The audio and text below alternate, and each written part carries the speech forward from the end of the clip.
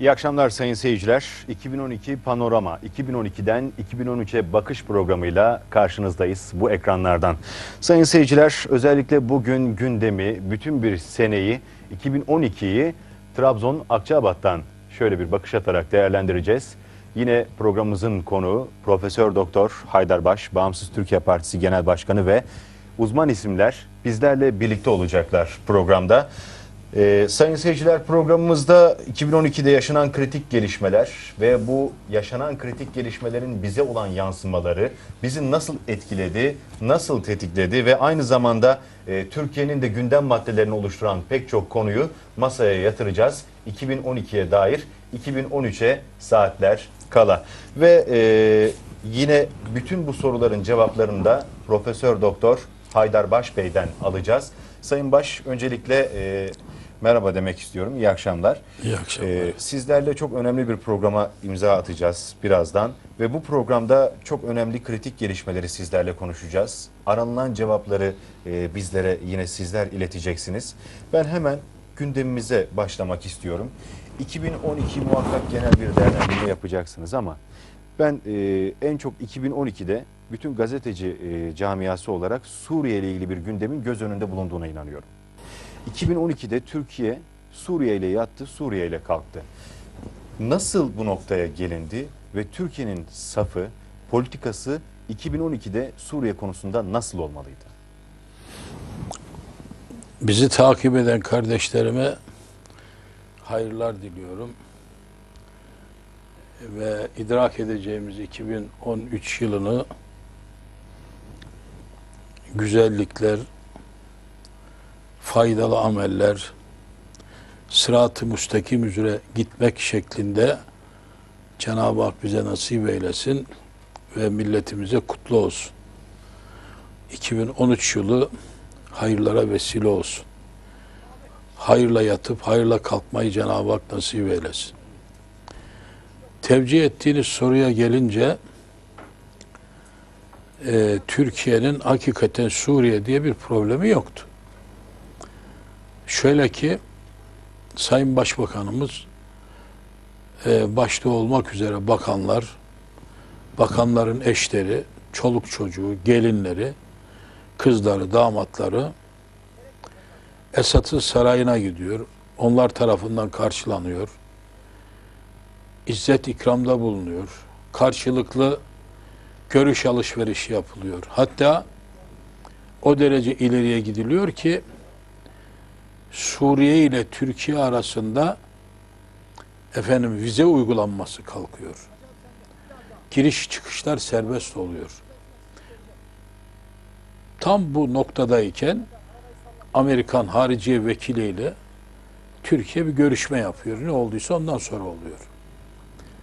Efendim Esad'la ilginizi keseceksiniz. Sırtınızı döneceksiniz.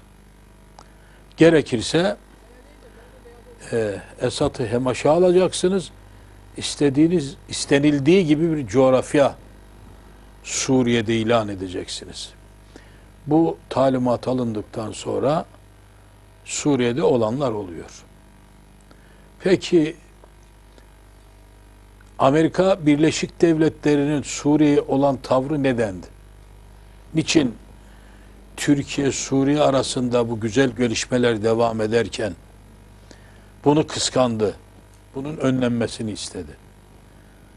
Şimdi Suriye coğrafyası tarihin en mühim coğrafyalarından bir tanesidir. Çünkü o topraklarda yani o coğrafyada arzı mevut denilen Yahudilerin kendisine ait olduğunu iddia ettiği topraklar var. Ve bu toprakların bir kısmı bizim coğrafyamızda, Anadolu coğrafyasında var. Fırat, Fırat ve Dicle Havzası.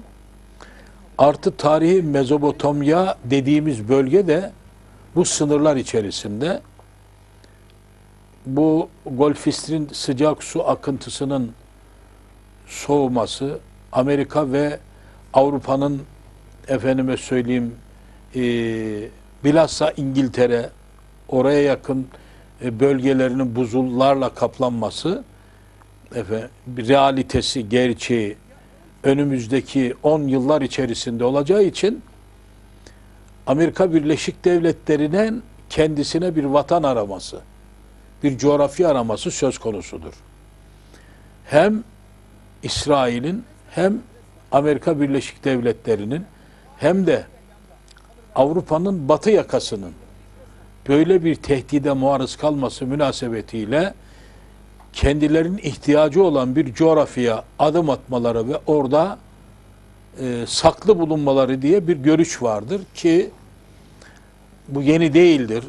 Batı'nın Anadolu coğrafyasında yaşayan Türklere Şark projesi dediğimiz burası onların vatanı değildir mutlaka çıkması gerekir diye ideallerinde hedef olarak belirttikleri bir mesele. Şimdi bununla birleşince efendim e, bu coğrafyada ne Suriye olacak ama Türkiye'nin de bunun fark etme, etmemesi lazım. Hissetmemesi lazım. Bu düşünceden hareketle sanki Türkiye'nin yanında imiş gibi ABD, İsrail bir pozisyonda Suriye'ye hasım kesiliyorlar. Buradaki olay Türk, Türk milletinin ve devletinin zerre kadar menfaatine olan bir olay değildir. Ve Türkiye'nin meselesi değildir bu. Bu İsrail'in meselesidir. Kendilerine yer edinmeleri gerektiği için Amerika Birleşik Devletleri'nin meselesidir. Yani okyanusun ötesinden ABD gelecek, bu coğrafyaya yerleşecek ve Türkiye'nin eli burada taşın altına girecek. İşin enteresan tarafı Türk milleti de sesini çıkarmayacak. Vatanı işgal edilecek, elinden gidecek. Hiç kimsenin kılı kıpırdamıyor. Yani bir insan ne kadar duyarsız olursa olsun. Ya bir adamın yerine senin tavuğun girdiği zaman efendim mermiyle karşılık veriyorsun. Sen benim tarlama, tümbüme nasıl girdin? Şimdi vatan topraklarının tamamı tehdit altında millet böyle şapşal bir şekilde olayı seyrediyor. Çok net konuşuyorum. Ha bugün eğer bu millet ayıkmazsa yarın ayıktığı zaman zaten iş işten geçecek. Namusu, vatanı, malı, canı, dini hiçbir şey kalmayacak. E siz ne zannediyorsunuz? Yani Irak'a efendim böyle göstermelik olarak mı Amerika Birleşik Devletleri geldi? Artı yetmiyor. Afganistan'a süs olsun diye mi geldiler? E bunun bir sebebi hikmeti var. Burada asıl sebep Amerika Birleşik Devletleri'nin Afganistan'dan başlamak üzere Anadolu coğrafyasını da içine alan efendim bir coğrafyanın sahibi olma iddiası. Sen düşünebiliyor musun? Şu anda Türkiye'de 40'a yakın veya 40'ın üzerinde NATO üssü var. Bunlar kimindir biliyor musunuz? NATO adı altında Amerika Birleşik Devletleri'ne aittir.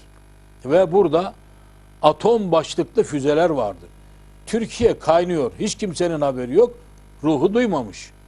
Yani çok ciddi bir gaflet, bir uyku hali var. Allah milleti ayıktırsın. Şu yeni yıla girerken Cenab-ı Hak bizi ayıktırsın. Şimdi buradan hareketle gelelim Esat'ın konusuna. Esat bu bölgede kendi inançlarını yaşayan, Müslüman halka kol kanat olan, onu kuş, kuşatan ve adeta Müslümanların şemsiyesi mesabesinde lanet bulutlarını kesen bir pozisyondadır. Kim ne derse desin. Şimdi bakmayın şu anda yok Esad Sünniler eziyeti. Hadi oradan be terbiyesi seni. Ne alakası var? Biz e, tam yılını hatırlayamayacağım. Fuat Bey buradadır. Sorarız. E, 6-7 sene evvel Suriye'ye yerleşmek istedik.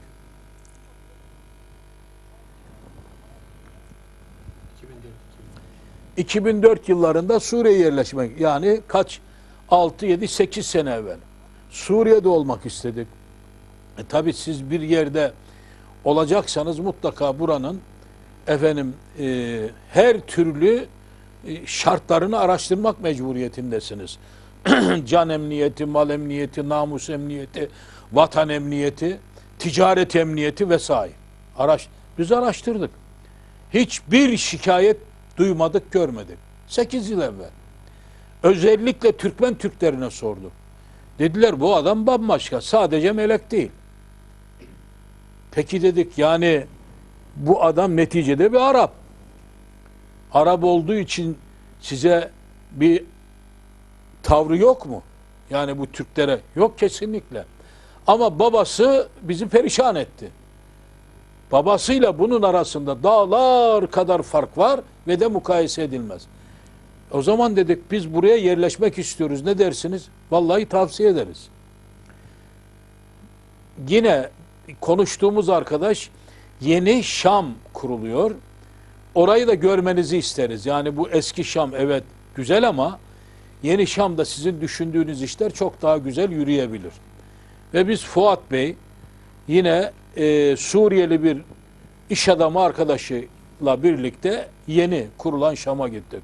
Aman ya Rabbi. Koskocaman bir vilayet. Yeni oluşuyor.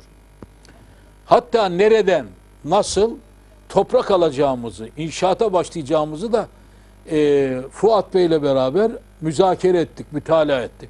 Tam o seferin dönüşünde Sayın Hariciye Vekiliyle efendim aynı uçakta karşılaştık. Sayın Hariciye Vekili sanki bizi hiç tanımıyor. Beni en az kendi en yakını kadar tanıyan bir adamdır. Böyle geldi, ben de birinci sıradayım. Adam bir selam verir. Ya sonra arkadaşlar bir insanın birine muhabbet etmesi, selam vermesi onun kişiliğinin olgunluğundandır. Gerçi ben onun doğduğu yere gidip görünce bu tavrının nereden kaynaklandığını anladım. Yani o, orada yetişen insanların bu tip tavırlarda bulunması oralı insanları bir şey değil. Ama maalesef bunun çok daha o tavrını ben anlayamadım.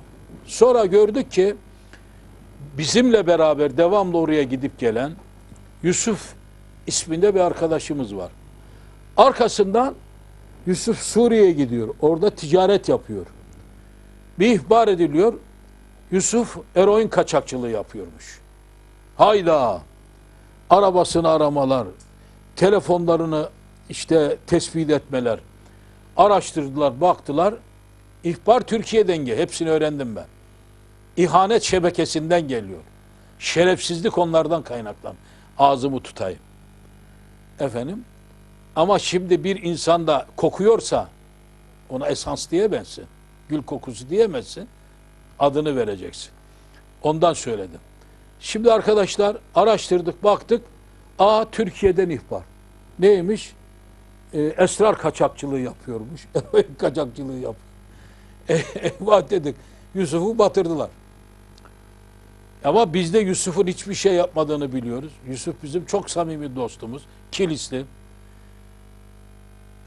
Adamlar araştırdılar.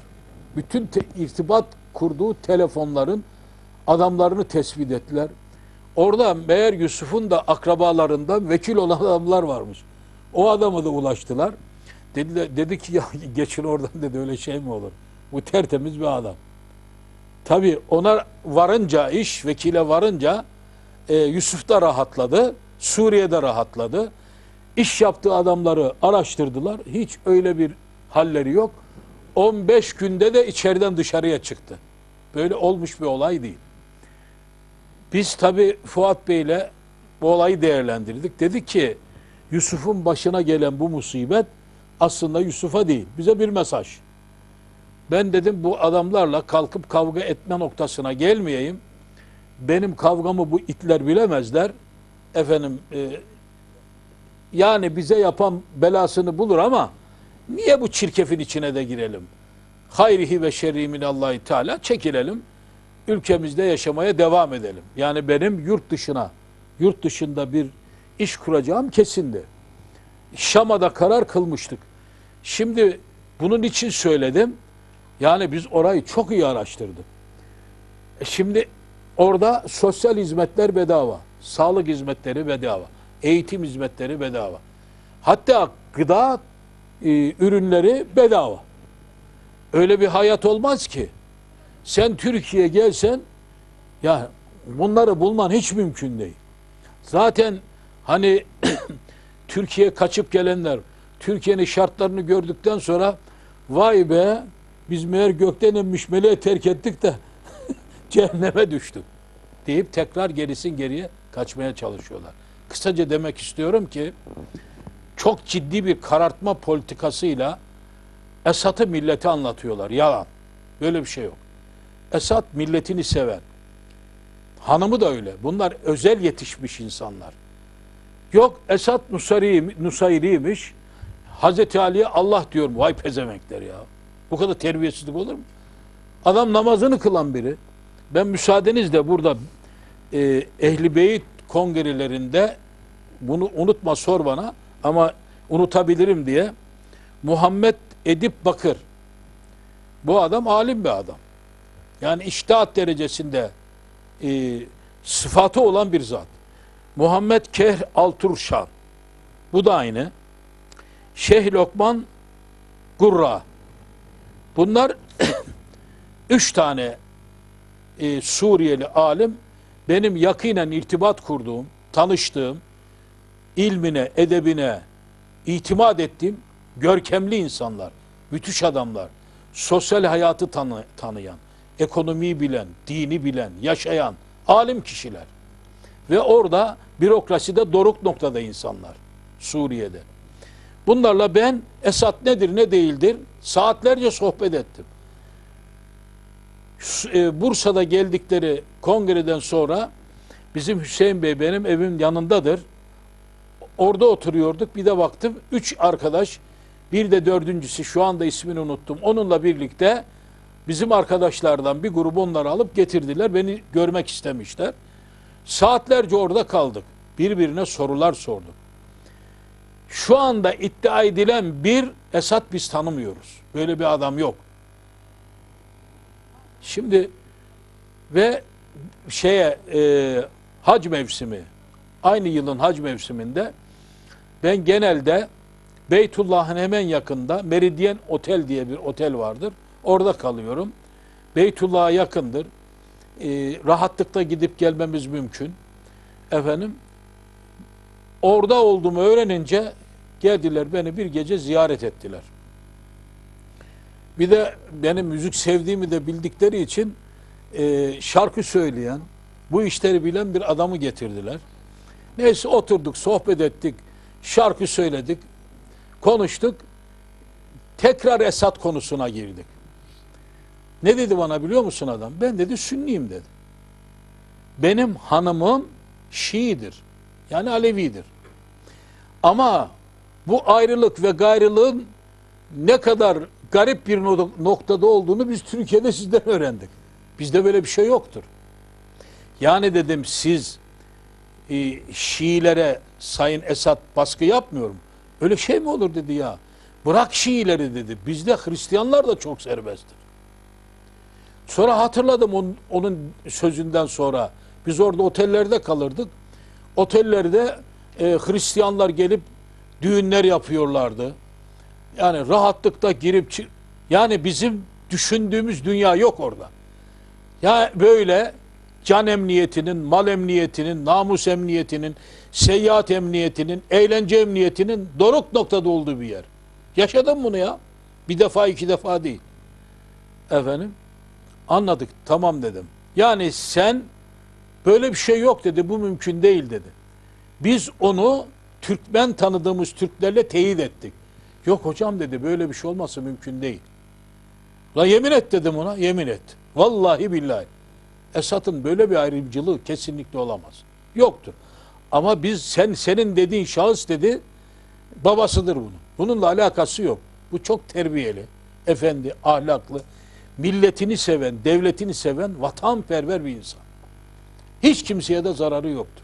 Böyle bir adam adam. Esat denilen kişi bu. Şimdi televizyonları seyrediyorum. Ee, Esat Nusayri'ymiş. Nusayri'nin ne olduğunu da bilmiyor. Arap Alevilerin adına Nusayri denir. Alevi nedir? Hazreti Ali'yi sevendir. Hazreti Ali tarafıdır. Şimdi bu adam oldu. Hazreti Ali'yi sevdiği için ona Allah diyormuş. Dinliyorum bunu. Ulan bu adamların sözüne de biz gençken bakardık. Lan ne cahillerin arkasında gitmişiz. Allah bizi korudu ya. Bu, bu kadar büyük ihanet olur mu? Bu kadar büyük hainlik olur mu? Ve bu adam Hazreti Ali Allah diyecek gelecek imamın arkasında Allahu Ekber diyecek namaz kılacak. Böyle bir iddia batıl olabilir mi? Yani kısaca tepeden tırnağa iddiaların tamamı yanlış. Ve iftira, fitne, dedikodu. Onun için bizi seyredenler şuna çok iyi inansınlar. O denildiği gibi Şii Sünni ayrılığı zerre kadar orada yok. Türkiye bunu körüklemek istiyor. Türk siyaseti özellikle böyle bir hava olsun, bizim iddialarımız orada tutsun diye fitne fesat çıkartmaya çalışıyorlar. Ama oranın böyle bir derdi yok. İşin esası bu. Anlaşıldı mı? Evet buyur. Ee, Bu kadar yeter herhalde. Konuşurken beni sustur ki biraz da dinleneyim. Şimdi e, Sayın Hocam siz bahsettikçe yine e, önümüzden geçen haberler geliyor. Türkiye'nin desteklemiş olduğu muhalefet geçtiğimiz aylarda bir açıklama yaptı. Dedi ki artık dedi Suriye'deki Aleviler de dedi Esad'a baş kaldırmalı dedi. Ve daha sonra bu açıklamanın hemen ertesinde bir iki hafta sonra oradaki fırınlar, evler bombalanmaya başlandı. Neyle? Havan topuyla. Herhangi bir ordu bombalaması yoktu orada. İsyancıların hakimiyeti. Yaptığı işi, evet. Şimdi ben e, şunu sormak istiyorum. Sizler bu konularda özellikle Ehli Beyt sempozyumlarında sıkça ifade de ettiniz. Ve Türkiye'de yapılmak istenilen bazı şeylerin de ve milletimizin de itilmek istenilen bazı noktaları siz buralarda önlediniz. Çok kritik bilgiler verdiniz Ehli Beyt sempozyumlarında. E, Anadolu'nun İslamlaşması ve Ehli Beyt diyecek olursak Bektaşi dergahı, dergahı ve Atatürk Cumhuriyete kadar gittiniz. Bize bu dört unsuru anlat, anlatır, anlatır mısınız dediğimizde sizler e, hangi değerlendirme yaparsınız? Nasıl birleştirirsiniz bunları? Şimdi e, Türkiye'de bilinmeyen e, çok ciddi şeyler var, konular var. Bunlardan bir tanesi de Mustafa Kemal Atatürk'tür. Biz de yetiştiğimiz ça- çağlarda Mustafa Kemal sanki din düşmanı olarak bize tanıtıldı. Sanki değil böyle.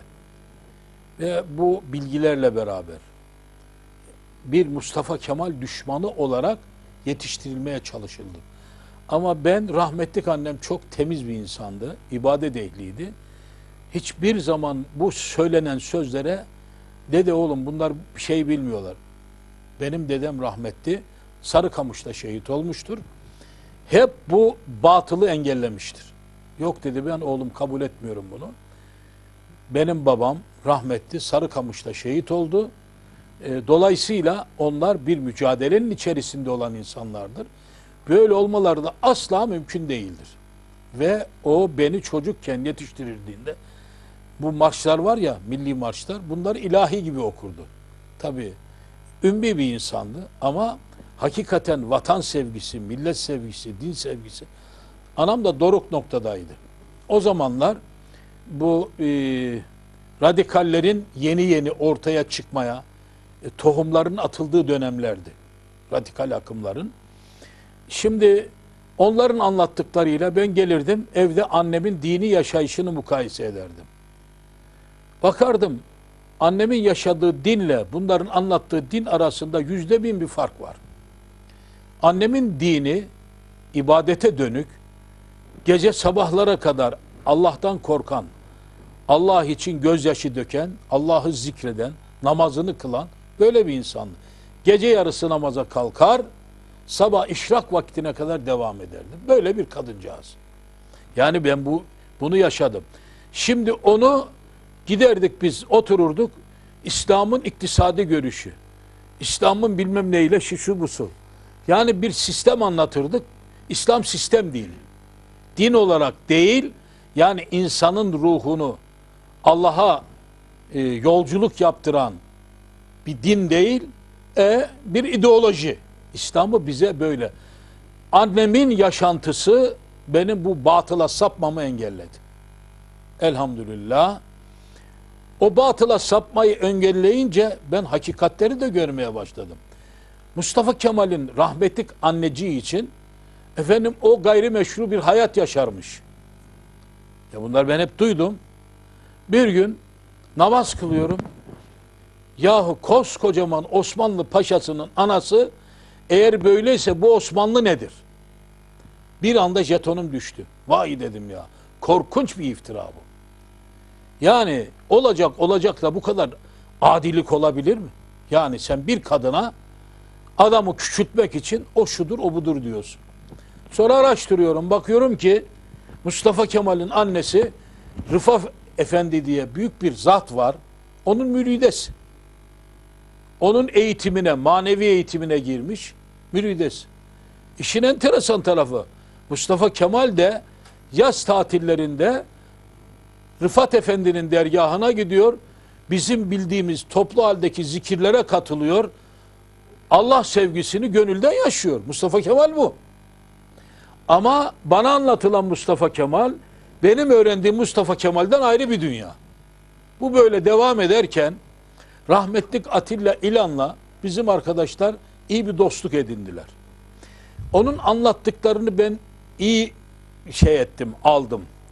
Bir gün e, bizim Muharrem Bey ile Selim Bey'e dedim ya bu konuyu da sorun dedim. Bu, bu işleri bilen bir arkadaş. Yalan konuşacağı da mümkün değil. E, o bizim için de iyi bir delil olur. Gittiler aynen şunu söyledi. Benim dediğimi sordular. E, hocamızın inandığı doğrudur. Mustafa Kemal tertemiz bir insandır. Dedikleri gibi dine karşı olması bir tarafa Müslümanların yanındadır. Artı devlet kurulduğu zaman kabineyi ilk defa Müslümanlara devretmiştir. Ama Müslümanlar bunu kabul etmediler. Ondan sonra kim aldıysa ona vermiştir. Budur dedi Mustafa Kemal. Bu anlatılan Mustafa Kemal ise İnönü'nün Mustafa Kemal'idir. Öyle mi Selim? Şahit burada. Bunlar bana getirdi bu bilgi. Şimdi Mustafa Kemal bu. Mustafa Kemal öyle denildiği gibi. Mesela e, merhumun kabrini ziyarete gidiyorsun. Orada bakıyorsunuz Kur'an-ı Kerim gayet mükemmel bir şekilde. Küçük ama şimdi Kur'an'ın büyüğü küçüğü olmaz. Kur'an onun demek ki kalbinin en nadide köşesinde yeri var. Onun için kütüphane, kütüphanesinde var. Ben hoca bir adamım. Az da okumuş değilim. Hayatımın yarısından fazlası ilim tahsil etmekle geçti. Yani bugün e, felsefe doktoruyum. Şark profesörüyüm, şarkıyat profesörüyüm. Bir sürü eser okudum. Kütüphanesine gittim, aklım durdu.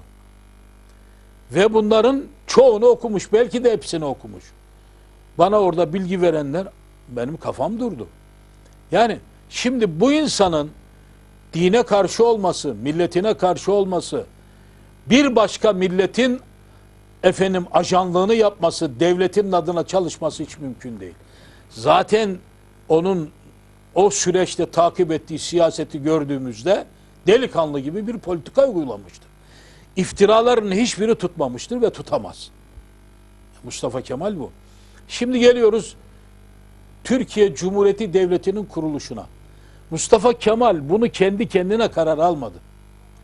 Bakınız Hacı Bektaş'ta Hacı Bektaş dergahının efendim eee Cemalettin Çelebi Cemevi'nin başı Dede Hazretleri Cemalettin Çelebi dede.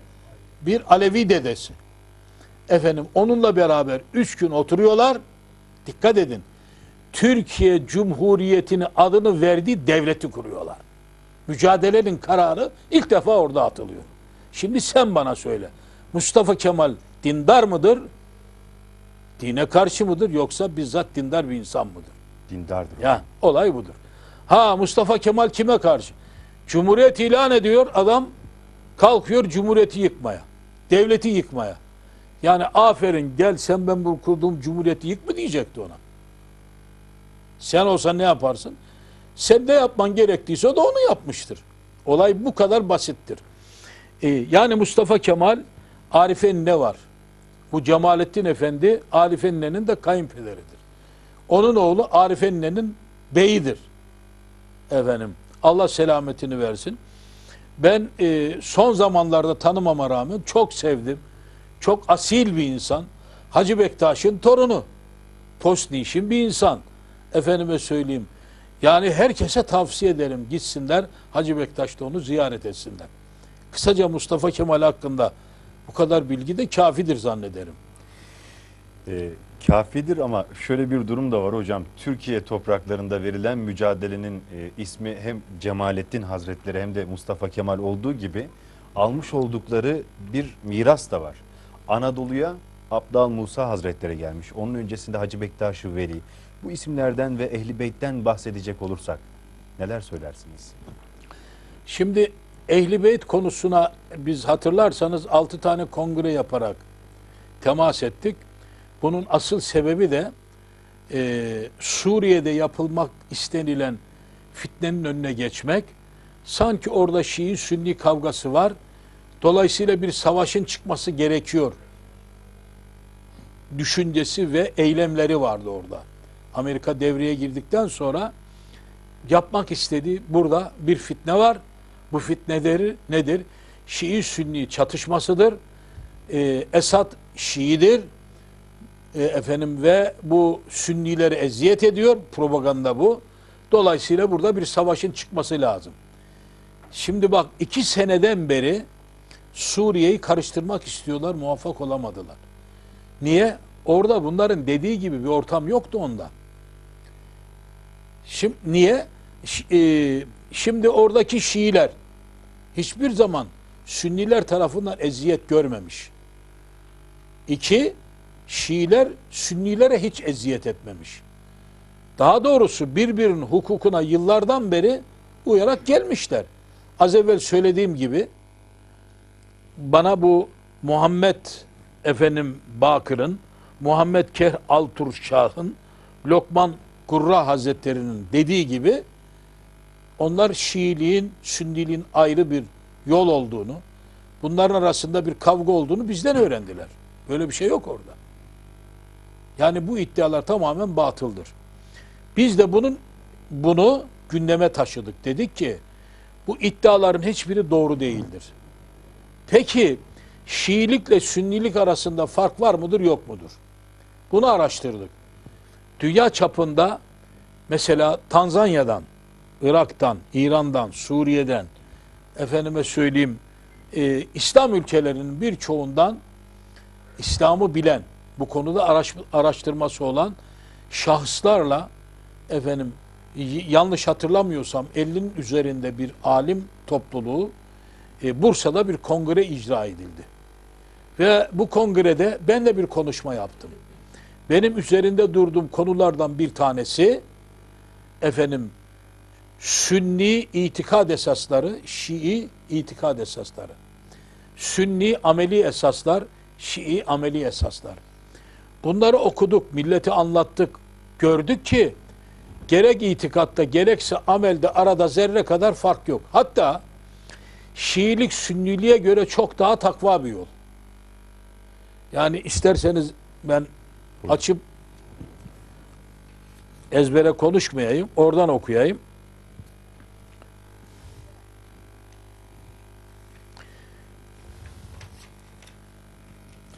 Şimdi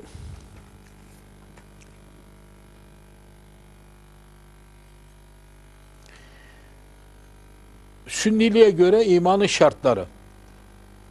Allah'ın varlığına, birliğine iman etmek. Meleklerine inanmak, kitaplarına inanmak, peygamberlerine ina- inanmak, ahiret gününe, ölümden sonra dirilmeye, kadere inanmak. Altıncısı, hayır ve şerrin Allah'tan olduğuna. Yani bizim bildiğimiz amentü billahi ve melaiketihi ve kütübihi ve rusulihi vel yevmil ahir ve bil kaderi hayrihi ve şerrihi minallahi teala vel ba'su ba'del mevt hakkun eşhedü en la ilahe illallah. Bu esastır. İmanın şartları budur. Şimdi gelelim Şia'nın itikad esaslarına. Allah'ın eşi ve benzeri olmadığına inanmak. Nübüvvet, Allah'ın peygamberlerine inanmak. Üç, ölüme, ölümden sonra dirilmeye, kıyamet gününe, kıyametten insanların dünyada işledikleri amellerden dolayı adaletle hesaba çekileceklerine inanmak. Bizim akaidle onların akaidi arasında fark var mı? Yok. Adalet Allahu Teala'nın adil olduğuna, tek yaratıcının Allah olduğuna, hayrın Allah'tan olduğuna inanmak. Şimdi bir tek meselede efendim imamet konusunda şey imanı şartları konusunda bizden ayrılırlar. İmametin Hazreti Ali'nin hakkı olduğuna inanmak. Şimdi birazdan göreceğiz ki bu iddiada da bunların böyle e, bir hamasi duyguyla bunu ortaya koymuş değiller. Yani dayandıkları kaynaklar var. Bu kaynaklar bizzat Peygamber aleyhissalatu vesselam Efendimizin talimatıyla oluşmuştur. O da nedir? Kadrum'da Peygamber aleyhisselam Efendimiz İmam Ali yerine vekil tayin etti, halife tayin etti. Bundan dolayı imamet Ali'nin hakkıdır derler. Hazreti Ali'nin hakkıdır derler. Oraya geçeceğim. Şia'nın iman esaslarını anlattım. Şimdi geliyoruz Sünniliğin ameli esaslarına ve Şia'nın ameli esaslarına. Bir namaz kılmak, oruç tutmak, zekat vermek, hacca gitmek ve kelime-i şehadet getirmek. Yani İslam'ın beş şartı dediğimiz şartlar. Şia'ya göre İslam'ın şartlarına gelince bakın burası çok önemli. Bir, namaz kılmak, oruç tutmak, zekat vermek, hacca gitmek, humus, cihat, emri bil maruf, nehyanil münker, tevella Allah'ın sevdiğini sevmek, teberra Allah'ın düşman olduğuna düşman olmak. Yani bunların İslam'ın beş esasını kabul ettiği halde bir de üstüne üstelik mesela Allah için buğz etmek, Allah için sevmek, emri bil maruf yapmak, nehyanil münker bunlar da İslam'ın şartlar arasında. Şimdi biz bunları terk ettiğimiz için sünniler olarak gittik gavurlarla dost olduk. Az evvel Mehmet Bey'le sohbet ederken o dedi. Bunları biz terk ettiğimiz için dostlarımızı yanlışlardan seçtik. Yanlış insanlardan ve yolumuz maalesef Deccal'in yolu oldu. Ne yaptık? Düşmana şimdi dost olduk. Kafire dost olduk. Müslümana namluyu doğrulttuk. Öyle değil mi şu anda? Su, Türkiye'nin Suriye politikasına baktığımızda geldiğimiz sonuç bu. Kiminle beraberiz? İsrail'le beraberiz. Kiminle beraberiz? ABD ile beraberiz. Kime karşıyız? Dün çocuğumuzu, gelinimizi, oğlumuzu, bakanımızı misafir ettiğimiz Esad'a karşı doğurttuk. Ya peki dün madem bu kötüydü niye oradaydın? Madem orada oldun bugün için karşısın? Bu soruların cevabı meçhul. Niye? Birileri bizi maşa olarak kullanmak istedi ve biz de öyle bir teslimi kül ile teslim olduk ki bu yapılanlar yanlış olabilir, bizim zararımız olabilir diye düşünmedik. Gelinen bu noktaya maalesef geldik. Kısaca yani onlardaki iman esası, onlardaki amel esaslarıyla bizimkilerin arasında fark olmadığı gibi üstüne üstelik takva bakımından bizden çok daha öndeler. Artı şimdi İmam Ali'ye niçin ima, imam dediler? İsterseniz oradan da e, bir iki ilave ile anlatmak istediğimiz yani ben onların bu iddiasına yanlış demiyorum. Niye? Peygamber aleyhisselam kadruhumda yani hac dönüşü kadrum denilen yerde Mekke'nin çıkışıdır. Bakınız Ali bin Ebu Talip benim kardeşimdir. Vasimdir, halifemdir. Benden sonraki halifemdir. Kim diyor bunu? Peygamber sallallahu aleyhi ve sellem. Kadrum hutbesinde. Yine aynı hutbenin ey insanlar bu Ali'dir. O benim kardeşimdir. Vas, vasim ilmimi toplayan ve ümmetim arasında iman eden kimseler üzerindeki halifemdir buyurmaktadır. Bu da peygamber. Aynı hutbede. Bir başka yerinde benden sonra Ali Allah'ın emriyle sizin veliniz ve imamınızdır. Kim diyor? Peygamber sallallahu aleyhi ve sellem. Şimdi buna binaen bunların imanının bir şartı da İmam Ali'dir. Bu yanlış değildir o zaman. Değil mi? Yani bu bir iştihat değil. Sonra eğer hilafet ve imamet dini bir kurumsa demokratik usulle e biz Fuat'ı imam seçtik. Haydar Hoca imam. Böyle imamlık olmaz. Bu demokratik bir kurum olur. Peygambere halife seçeceksen bunu Allah Resulü seçmesi, seçilmiş halifenin de kendinden sonra geleni seçmesi esası vardır. Böyle bir şey var mı? Mesela Yavuz kalktı ta Ridaniye'ye gitti. Ne yaptı? Hilafeti aldı. E babanın çiftliği çöplüğü mü orası senin ya gidip alıyorsun? Yani koltuk değmeye mi bu hilafet? Bu batıl bir görüş, batıl bir yol. Ben bunu Kur'an ayetleriyle, hadisi şeriflerle ortaya kor ispatını yaparım. Ama geç bir karıştırmanın bir e, şeysi yoktur diye iş- işin içine girmiyoruz. Sen bu yanlışa evet diyorsun, hak olana batıl diyorsun. Hadi oradan be terbiyesiz. Kaç paralık adamsın sen? İslam kim sen kim? Kıçını yıkamandan haberin yok. Bir kitap okumadın. Kopya çekmekten başka hünerin yoktur. Konuşursun. Buna bizde zırlama derler. Anlaşıldı mı? Kısaca şunu demek istiyorum. Yani Kadir Hutbesi'nde aleyhisselam Efendimiz 220 tane sünni uleması bunu dava etti. Eserini aldı. Bunlar benim eserlerimde var. Nasıl bu kadar büyük gerçeği sen kalkıp üstünü örtersin de böyle bir şey yoktur dersin. Ve ondan sonra bunlar batıl olacak, sen hak olacaksın. Bu yetki senin elinde değil. Anlaşıldı mı? Ha bir Molla Kasım bir gün çıkar, bunun hesabını sana sorar. Ben bunları söyledim diye kalktılar, düşünebiliyor musun? E Haydar Hoca Alevidir, bunu araştıralım. Geldiler Akçabat'a araştırıyorlar. Bir tane Alevi, e, tabi benim, köy, benim köyde burada Alevi Alevi ne gezer ya. Baba sapıklığa bak. Yani bunu dedi ya, illa bu olması lazım. Seni gidi şeytan avukatı seni. Deccal. Böyle bir şey olamaz. Evet. Şimdi demek istediğim şu. Ee, yani onların iman esasları tamamen ayet ve hadislerden kaynaklanan bir sonuçtur. Ehli sünnetin esasları da budur. Arada bir fark vardır. O fark da İmam Ali'nin imameti konusudur. Anlaşıldı mı? Ben deniz bunu şu şekilde izah ediyorum.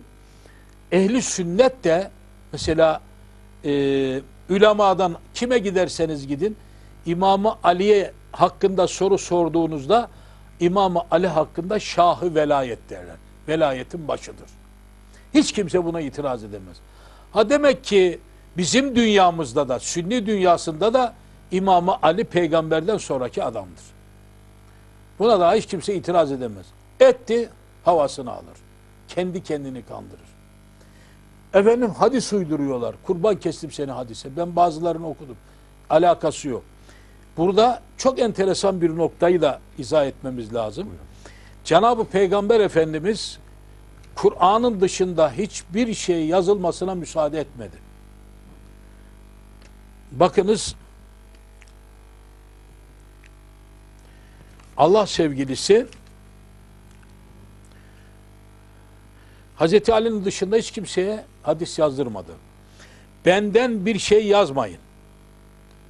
Benden Kur'an'ın dışında bir şey yazan onu yok etsin buyurdu. Nerede? Sayı Müslim cilt 4 sayfa 97. Süneni Daremi cilt 1 sayfa 119. Evet Zeyd bin Sabit Resulullah bizi hadislerini yazdırmaktan alıkoydu. Ve bizim yazdığımız hadisleri yok etti diye aktarıyor. Nerede? Süneni Ebu Davud İlim kitabı cilt 3 sayfa 319. Ve peygamberin bu talimatına bütün sahabe uyarak Resulullah Ali'ye de sana söylediklerimi yaz buyurmuştur. Hazreti Ali'ye de talimat veriyor. Benden duyduğunu yazacaksın, diğerlerine sakın yazmayacaksınız. Ne Hazreti Ebu Bekir, ne Hazreti Ömer, ne Hazreti Osman hiçbir hadis yazmamıştır. Hatta Hazreti Ömer yazılan hadisleri topladı, yaktı. Çünkü hadisin kaynağı Ali'dir dedi, biz değiliz.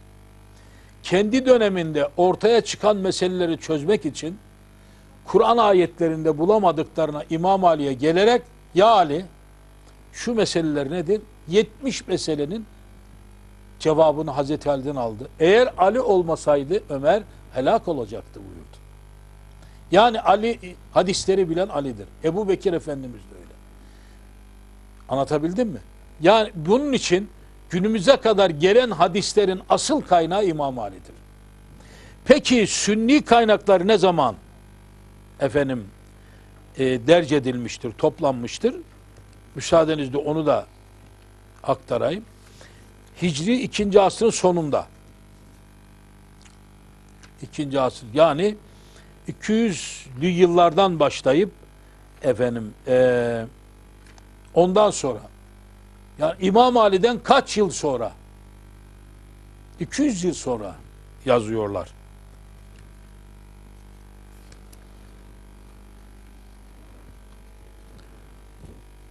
Efendim burada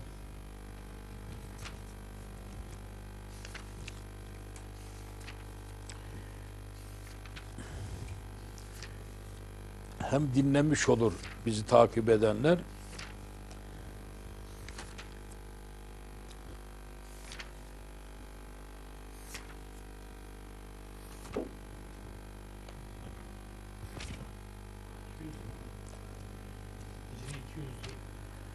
Yok yok bulayım da burada okuyayım. Dediğim doğru. Da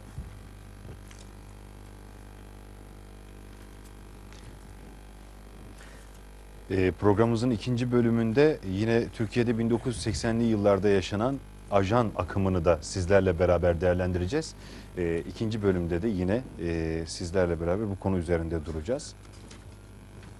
yoktur şurayı bir Buyurun.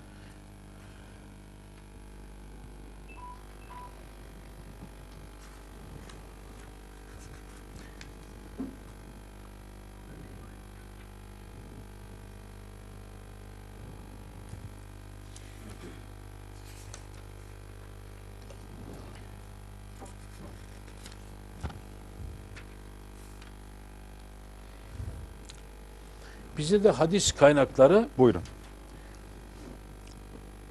Mesela Buhari Hicri 194 256 194 yılında doğuyor İmam Buhari 256 yılında Allah'ın rahmetine kavuş.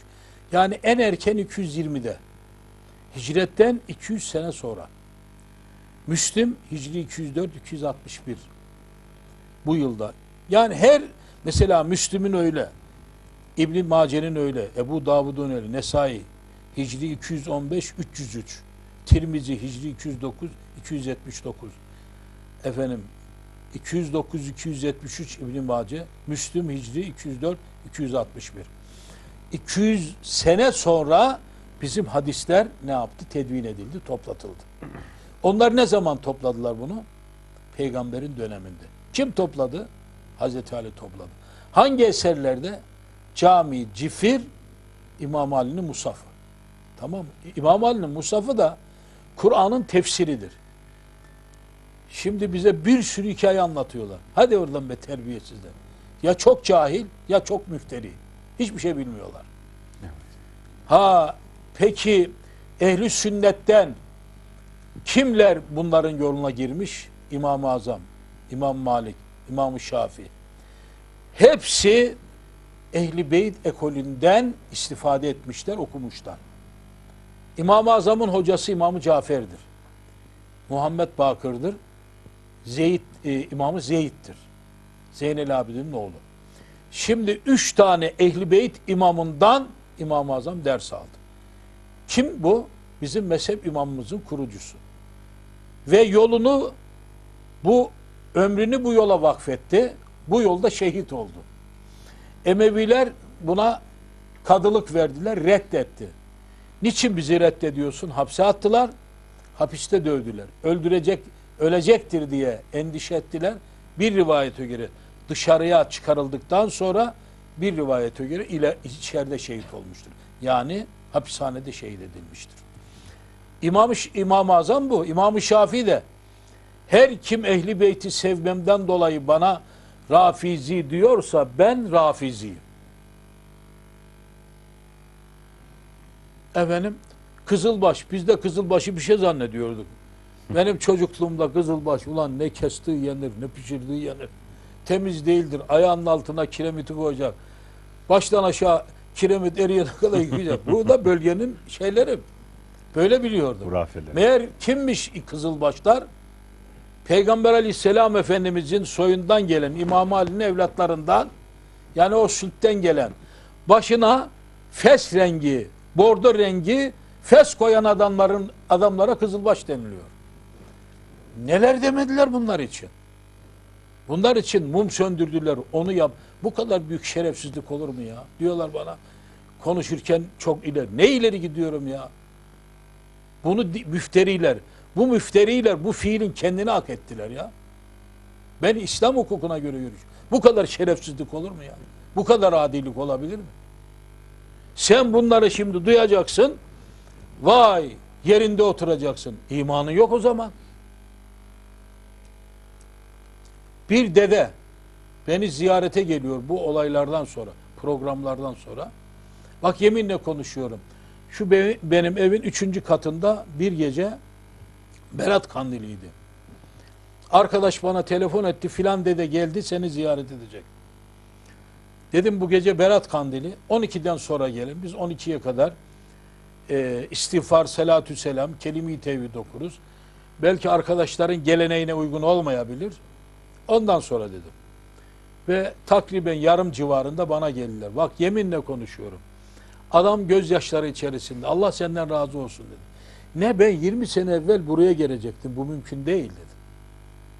Yani bu kadar. Evet hocam bildiğin gibi değil. Şimdi Arife nine ellerinden öpüyorum buradan. Arife nine kendisi bizzat ya evladım Allah senden biz senden sonra açılım yaptık dedi. Bu kadar şiddet olabilir mi? Bu kadar gaflet olabilir mi? Bu kadar eziyet olabilir mi? Yani sade onlar çekmedi ben çektiğim için hemen ayıktım. E 1980 Cumhuriyeti Koruma Kollama Harekatı'ndan sonra her sabah evden çıkardım arkamda bir tane siyasi ekip arabası. Vallahi bak 7 sene. Bir gün İsmail Bardakçı vardı. Allah selametini versin. O e, siyasi şubede müdürdü. Trabzon'da bir iş yerim vardı. Geldi dedim ne uğraşıyorsunuz benden dedim ya İsmail. Nedir dedim siz ne, ne demek istiyorsunuz? Hocam dedi sen dedi silah taşımıyorsun dedi. Ama beni çok severdi. Allah selametini versin. Ama dedim kardeşim yani bu da dedim bıktırma. Vallahi hocam dedi sana dedi kimse bir şey yapamaz dedi.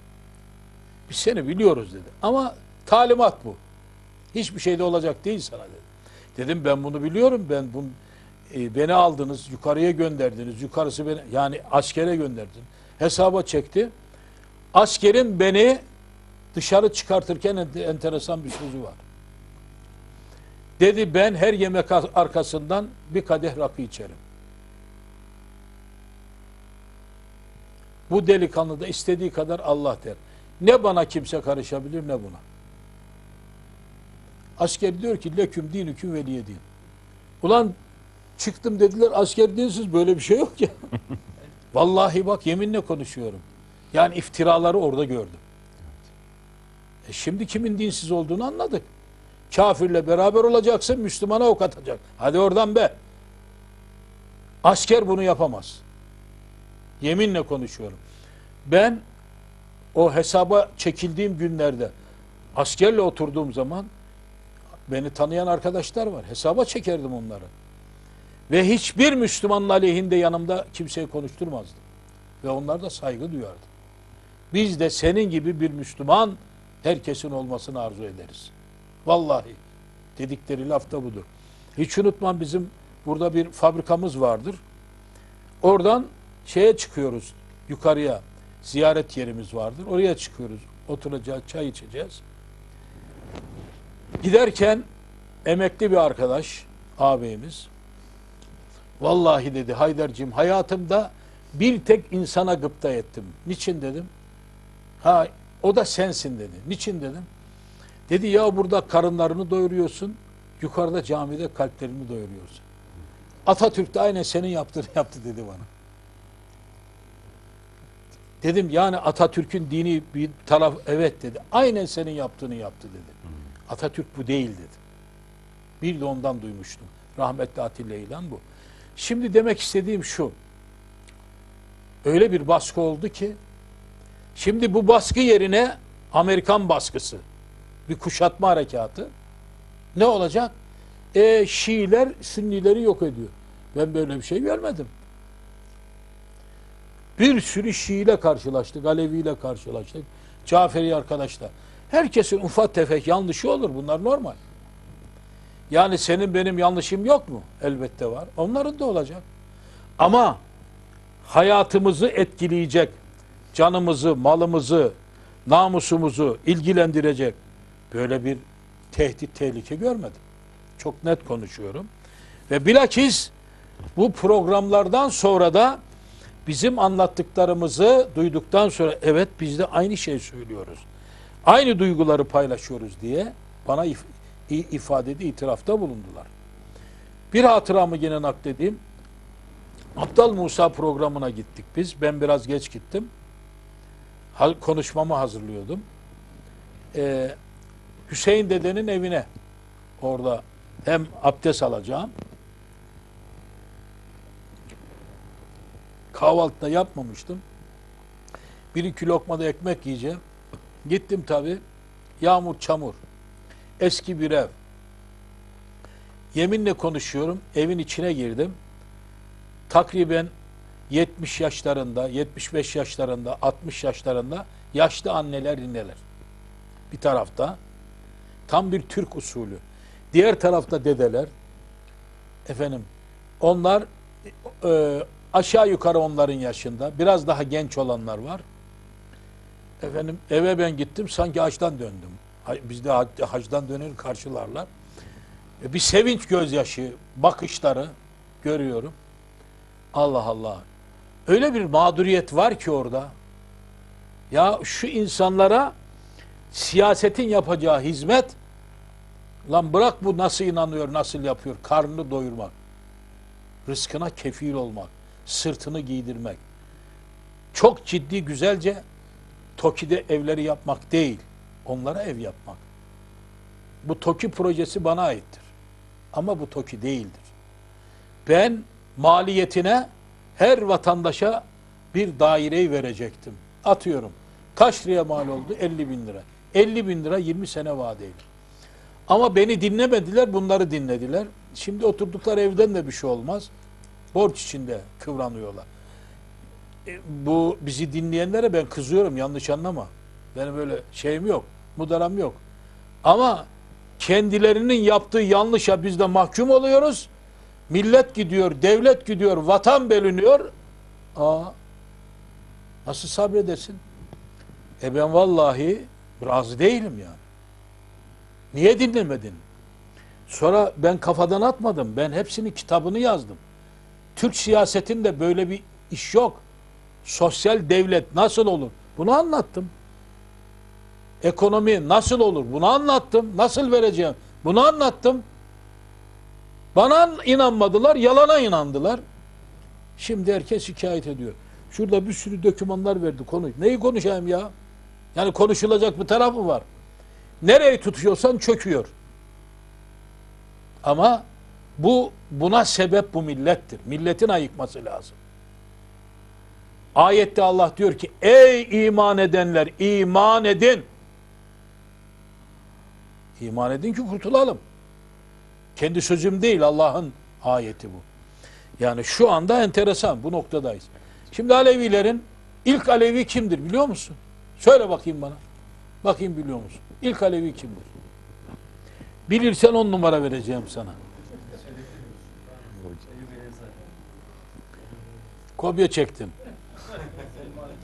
Selmani Farisi, Ebu Zer Gıffari, Miktat bin Esved, Ammar bin Yasir, Halid bin Said, As bin Ureyde, Bureyde, Ubeyde bin Kâb, Huzeyme bin Sabit, Ebu Heysebe bin Tayhan, Self bin Huneyf, Osman bin Huneyf, Ebu Eyyub el Ensari. Baksana şuraya. Yani sanki milli takım diziyoruz. Sahabenin en seçkinleri bunlar. Kim bunlar? İmam Ali'nin tarafında. Yetmedi. Cabir bin Abdullah, Huzeyfe bin Huzeyfetül Yaman. Bu müthiş bir insan. Sa'd bin Ubade, Kays bin Sa'd, Abdullah bin Abbas, Zeyd bin Erkam. Hazreti Ali'nin şiaları bunlar. Yani ilk dostları. Şimdi ilahiyatta hocalık yapan bazı adamlar. Onları da ele almam lazım. Çünkü fitne yayıyorlar şu anda. Hiçbir şey bilmiyorlar. Erkekseler gelsinler. Dünyanın huzurunda istedikleri yerde onların perişan edeyim. Hiçbir şey bilmiyorlar. Bu konuda hepsi cahil. İ- i- iddia ediyorum. Sen kimsin ya? Koskocaman yalanla yok onlar şöyle yok canım o bidatler oryantalistler tarafından uyduruldu. Ben bunların hepsini tespitini yaptım. Bu Risale'nin başında vardır. Bu adamların, bu gavurların diliyle konuşuyorlar. Yani bu Şia hareketine gölge düşürmek için. Böyle bir şey yok. Yok Nusayriler Hazreti Ali'ye Allah diyor. Hadi oradan terbiyesiz kıçını yıkamayan ahmak. Ben sana bir Nusayri göstereceğim. Hasan Hüseyin dede Bayram Hatay'dan Nusayri Arap Alevisi git Müslüman gör. Beş vakit namazını kılan, cemevi olan, cami yaptıran, camisinde namaz kıldık. Fuat kıldın mı? Mehmet kıldın mı? Ahmet kıldın mı? Var mı kılanlar? Yok bu Ali'ye Hazreti Ali Allah La bu kadar terbiyesizlik olur mu ya? Bu, bunun izahı mümkün değil. Bunların izahı. Hazreti Ali'nin şiaları yani Şiiler, Aleviler bunlar. Adam diyor ki Ha- Ha- Haydar Hoca Alevi oldu. Keşke olabilsem. Hazreti Eyüp Ben gibi olmak oğlum bu sen, sen nesin ya? Sen kimsin? Güya beni tehdit ediyor. Kurban kestim seni Hazreti Ali'nin. Affedersin bilmem nesine. Ahlaksız herif seni. Terbiyesizler be. Kendileri Vatikan'ın kölesi, köpeği. Sen gidersin papanın elini öpersin, bilmem nesini öpersin. Benim karşımda duracaksın. Hristiyan bozması terbiyesiz seni. Sen kim oluyorsun? Bu vatan benimdir. Bu vatan bizimdir. Bizim kalacaktır. Bunu herkes çok iyi bilsin. Ha milleti bugün kandırırsın, yarın kandırırsın. Ama bunun bir eşref saati vardır. Bir de o saate rastladı mı yutarsın hapını. Kafana akıl koy kendine gel derim. Fazla mı konuştuk? Sayın Hocam, e, öncelikle az önceki yaptığınız açıklamalara binaen bazı şeylerin altını tekrar çizmekte büyük fayda görüyoruz. Anadolu'nun İslamlaşmasında ön plana çıkan çok büyük isimler var. Hacı Bektaş Veli sizin de yine ifadenizde sempozyumlarda Anadolu'nun Genelkurmay Başkanı. Ve yine Abdal Musa Hazretlerinin mekanında da çok kritik açıklamalar yaptınız. Şimdi ben size şunu sormak istiyorum. Ee, hem bu soruya cevap olarak Anadolu'nun İslamlaşması az önce Cumhuriyeti Türkiye, Türkiye Cumhuriyeti ismi ve Mustafa Kemal e, önderimizin ifadesiyle Türkiye Cumhuriyeti isminin konulması büyük bir kader birliği. Sizler milli ekonomi modelinde nasıl kaynakları sorunlara bir cevap olarak bu toprağın altından bulup çıkardıysanız Ehli Beyt açılımıyla da yine aynı şekilde Abdal Musa Hazretlerinin mekanında aradığınız cevapları bu milletin önüne serdiniz. Ni- e, Nevşehir'de bu milletin önüne serdiniz. Bunları ifade ederken bazıları da yine bugünlerde tezahür ettiği gibi Nusayriler hakkında yalan yanlış yorumlarla halkımızı yönlendirmeye gayret ediyorlar. Geçmişine baktığımızda Türkiye 1980'li yıllarda gelen Thomas Michel adlı bir isim çıkıyor karşımıza. Bu konuları açar mısınız? Daha da detaylandırır mısınız? Hay hay. Ee, esasen bunlar benim unuttuğum konulardı. İyi hatırlattınız. Allah razı olsun. İsterseniz Thomas Michel'den başlayalım. 1986 yılında Türkiye'ye geliyor. Ee, 87 yılında Ankara İlahiyat'ta hocalık yapıyor ve Hristiyanlık dersi veriyor. Aslında Ankara İlahiyat'ta kendisine bir Hristiyan kadro hazırlıyor. Yetmiyor bu. Akademisyenler yetiştiriyorlar. Oradan geçiyor İz- İzmir'e. İzmir ilahiyatta 1988 yılında kalıyor. Aynı icraatları orada yapıyor. Orada akademik bir kadro hazırlıyor. Ne hakkında? Hristiyanlık hakkında. Yetmiyor oradan Konya'ya geçiyor. 89 yılında akademik bir kadro hazırlıyor. Bu akademik kadroların işi dinler arası diyaloğu gündeme getirecek ve Hristiyanlığı meşru kılacak adımları atmak, fikri temelleri oluşturmaktır. Bugün ilahiyatlarda maalesef bu yanlışlar ilim kuralıymış gibi ümmeti Muhammed'e takdim ediliyor. Batıl üzerinde makaleler yazılıyor, konuşmalar yapıyor. Bunlar Thomas Michel'in maalesef kör sahır adamlarıdır. Ve yaptıkları iş bu milleti Hristiyanlaştırmaktır. Diyalog dediğimiz şey, dinler arası diyalog dediğimiz şey, e, Müslümanları Hristiyanlaştırmanın adıdır. Efendim, e, hiçbir dinin diğer dinden alacağı hiçbir şey yoktur. Veya ona vereceği hiçbir şey yoktur. Zaten o din olamaz. Dinler başlı başına bir organik anatomidir. Eğer bir dinin diğerinden alacağı varsa o din deme nakıstır. Şimdi sen Hristiyanlığa vereceğin bir şey var mı? Verecek olsan tevhid akidesini verirsin. O da der ki ya ben tevhid akidesini aldıktan sonra olurum Müslüman. Değil mi? O da sana verecek olsa teslisi verir. E sen de dersin ona ki ben de teslisi kabul ettikten sonra olurum Hristiyan. Kısaca öyle bir çizgidir bu ki birinin diğerine bir şey vermesi asla ve kat'a mümkün değildir.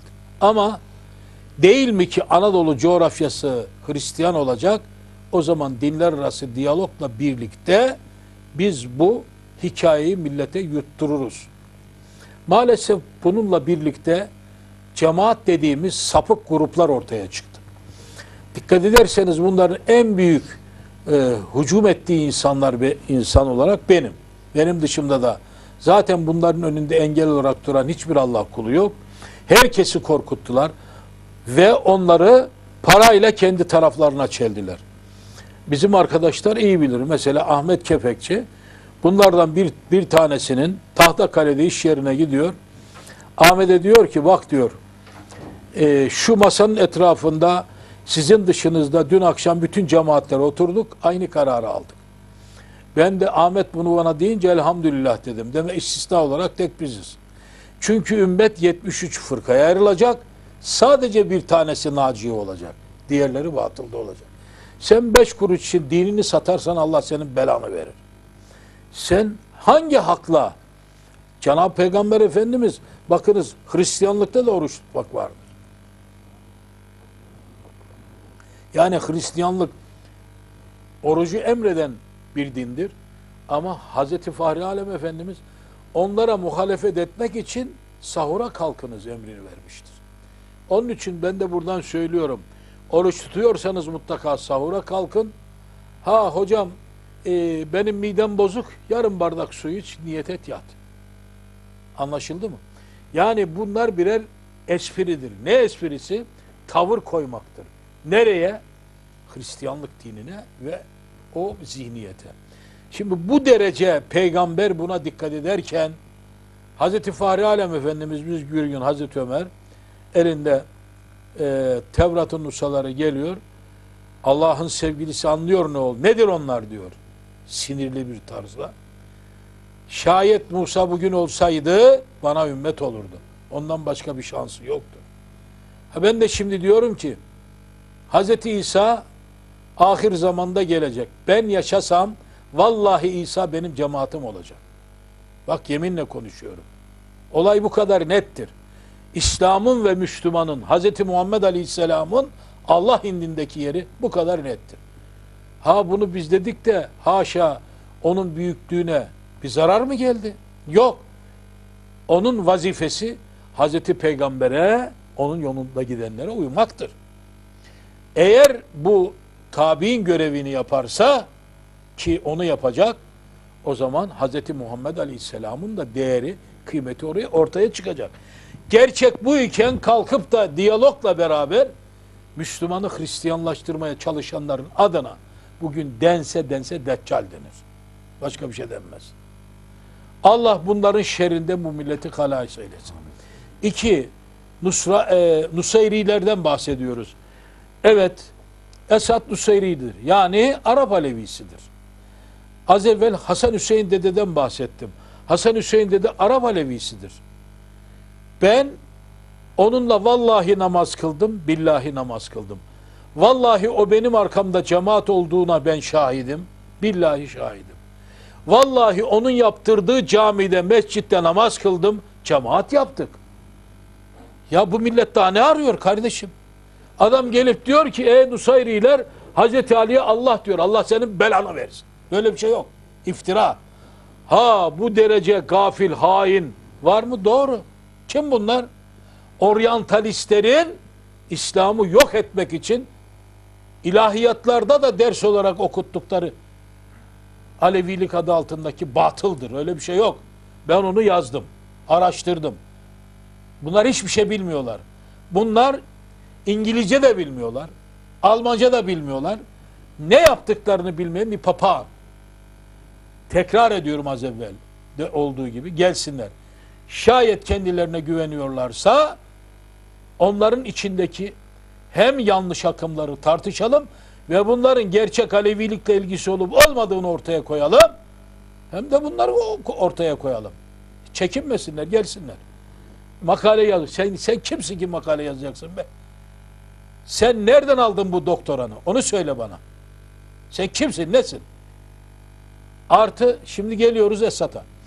Esad 24 tane bakanı yanılmıyorsam var. Bu 24 bakanın 21'i ehli sünnettir, Hanefi'dir. Hanefi. Hanefi mezhebinden. Üç tanesi de efendim Alevidir. Esad bu. Ve Es Esad'ın ukubat prensipleri Hanefi fıkhıdır. Anayasası. Anayasası tabi. Hanefi fıkhına göre ukubat kuralları tayin edilmiştir. Onlar uygulanır. Hani bizimkiler İslam'ı getirecekti. Şimdi diyorlar ki onu terk edin, layık olun. Bizimkiler diyor. Bizimkiler layık olsa, İsrail'i kabul etse, yani onlar layık olsa, İsrail'i kabul etse, ABD'yi kabul etse, Esral, Esad dünyanın bir numaralı adamı olacak. Eda, Esad'ın kötü olmasının nedeni Hanefi fıkhını uygulaması. İsrail'e sırtını dönmesi, ABD'ye burası senin vatanın değildir, bizimdir demesidir. Olay bu kadar basit. Şimdi hak kimdir, batıl kimdir? Bunu benim yüce milletim vicdanen ortaya koysun. Batılla beraber olan hiçbir zaman hak olamaz. Batılın davasını Nasrallah, Hasan Nasrallah, bu adam İsrail'e pes ettiren adamdır. Ne diyor? Eğer Esat olmasaydı bizim dumanımız tütmezdi. Bu gücü biz Esad'dan aldık, almaya devam ediyoruz. Filistinli Müslümanlar aynısını söylüyor. Bunlar kimin adına konuşuyor? Hangi Müslüman adına konuşuyor? Tepeden tırnağa bunlar yanlıştır. Şimdi geliyoruz Anadolu Müslümanlığına, Bektaşiliğe. Anadolu Müslümanlığı bambaşka bir olaydır. 1071'de Alparslan cennet mekan Anadolu'ya 10 bin tane dervişle giriyor. 50 bin kişinin 10 bini derviştir. Ağzı dualı denir bunlara. Zikrullah'la Anadolu'ya Roman Diyojen o savaşta mağlup ediliyor. Ama Türk'ün asaleti budur. Rezil etmiyor onu. Gene onurla hayat hayatta kalmayı ona iade ediyorlar. Fakat tabi civar her taraf Türkler tarafından fethediliyor. Ondan takriben 50 sene sonra işte Hacı Bektaş dediğimiz büyük zat Hacı Bektaşi Veli Ahmet Yesevi o tarihlerde Horasan'da Horasan'da bir Alperen grubu yetiştiriyor. Hacı Bektaşi Veli Musa Kazım Hazretleri, Musa Kazım Hazretleri Peygamber Efendimizin soyundan gelen imamlardan biridir. Musa Kazım. Allah şefaatinde büyük bir imam, büyük bir alim. Onun soyundan gelen peygamber sülalesinden. Kim? Hacı Bektaşi Veli. Babası oradan. Anası bir Türkmen. Türkler çok bahtiyar. Hazreti Hüseyin'in şehadetinden sonra Türkler e, efendim Semerkant, Buhara, Taşkent işte bu bölgelere e, o Müslümanlar evladı Resul geliyor. Horasan'da yerleşiyorlar. Horasan'da Türklerle yuva kuruyorlar. Bak birçok seyit vardır Anadolu yaylasında. Ve çoğu da Türkmenlerdir. Türkmenlere çok iyi bakalım. Benim çok kıymetli dostlarım vardır Türkmenlerden. Ve bunlar Anadolu'ya geldiği zaman Anadolu'da da Türkmenlere rastlıyorlar. Hacı Bektaş'ın ilk karşılaştığı insanlar Türkmenlerdi. Hırsız, yolsuz, namussuz, yan keçici. Vurdu kaçtı adamlar. Bu tip bunlar. Şimdi arkadaşlar öyle bir enteresanlık ki Hacı Bektaş bütün bunları Müslüman ediyor. Nasıl bir tasarruf, nasıl bir manevi yetki. Bunun izahı hiç mümkün değil. Ve bunlar Müslüman olduktan sonra Hacı Bektaş gibi yaşamaya. Tabi Hacı Bektaş'ı veli bir aşk deryası ummanı. Adam Müslüman oluyor. Hayat çok farklı ya. Allah Allah. Allah demek ne kadar güzel. Muhammed demek ondan da güzel. Öyle bir açılım oluyor ki. Yanıyorlar. Ve bunlar yetişiyor. İrşad ehli oluyorlar. Anadolu yaylasına bunlar yayılıyorlar. Bektaşilik bu. Anadolu yaylasına yayılıyor ve bunlar Anadolu yaylasında Süryani, Keldani, Yezdani, Rumunu, Ermenisini, Yahudisini ne kadar insan var yüzde 99 onda 9'unu Müslüman ediyorlar. Cüz'isi de kendi dininde kalıyor. La ikraha din, dinde zorlama yok. Onun için dinlerini serbest bırakıyorlar. Bütün bu insanlar Hacı Bektaş'tan aldığı bu enerjiyle, bu manevi güçle Müslüman olduktan sonra ne diyorlar biliyor musun? Bana göre dünyanın en büyük devrimi Hacı Bektaş'ın devrimidir. Sen Yezdani'ye ben Türk'üm dettireceksin. Süryani'ye Türk'üm dettireceksin. Boşnağına Türk'üm dettireceksin. Rumuna, Ermenisi. Bu mümkün değil ya. Bunu Hacı Bektaşi Veli Hazretleri yaptı. Ben Türkoğlu Türk'üm demeye başladılar. Şimdi söyleyin bu kadar büyük bir devrim olabilir mi? Anadolu yaylası böyle İslamlaştı, böyle Müslüman oldu. İşte e, geçenlerde dergahına gittik, ziyaretini yaptık. Aptal Musa Hazretleri. Efendim ya kabri bizi karşıladı. Bağrına bastı. Ya onların ya onlara ölü diyen insanlar ölü. Şimdi adam yok kabir ziyaretine gidilmez. Hadi oradan be terbiyesiz. Sen zaten ölü leşsin. O denilen insan olamayacağın için leşsin. Ona laşe denir İslam'da. Ama onlar ölmemiş. Nasıl yaşıyorlar onu sen bilemezsin. Haydirler onların ruhu. Ayetle sabit. Şimdi o insanın biz o türbesine gittik. Gerek soyları, dedeler, Hüseyin dede olsun, Ali dede olsun. Onlara buradan selamlarımı, sevgilerimi, yengemlere selamlarımı, sevgilerimi bildiriyorum. Ve hürmetlerimi arz ediyorum. Bizi ne güzel karşıladılar. Sanki 40 yıllık dostuz. Efendim, bir program yaptık. Böyle bir müthiş bir açılım ben görmedim. Yukarıdan aşağı yağmur yağıyor. Sanki bizimkiler 10 yıldızlı otelde oturuyor. Çadır damlatıyor. Hiç kimse o, o olayın farkında bile değil. Ya o insanlar tıklım tıklım sanki hiçbiri nefes almıyor. Daha ne soruyorsun bana Anadolu'dan Bektaşilik? İslam bu işte. Bu sütten gelen Atatürk'ün annesi de bu soydan gelme. Yani bu havadan büyük, bu havada büyüme. Atatürk bu. Ama biz yanlış, bize yanlış öğrettiler. Kundakladılar. Şimdi ben onların üzerine gidiyorum. Ee, Sayın Hocam Thomas Michel'in öğrencileri Atatürk'ün miras almış olduğu bu mantığı şu an açıklamalarla milletimizi bir şekilde zedelemeye gayret ediyorlar. La dinsiz yapmak istiyorlar. Dinden çıkarmak istiyorlar. Zedelemeyi bırak. Atat- Hristiyan yapmak istiyorlar. Atatürk olsa bunları ne kovar? Bak e, merhumun döneminde iki tane çocuk İzmir'de kolejde okurken Hristiyan oldu. Bakanlar Kurulu kararıyla sabahleyin okulu kapatıyor. ve nüfus mübadelesi. Yunanistan'da ne kadar Müslüman Türk var alıyor, ne kadar Hristiyan var oraya gönderiyor. Atatürk bu. Anlaşıldı mı?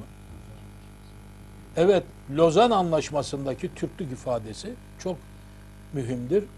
Deniliyor ki Kürtlerin azınlıktır, haklarını verelim. Murahhas azalar, Amerikalılar bilhassa bunu dava ediyorlar. İnönü diyor, hayır diyor.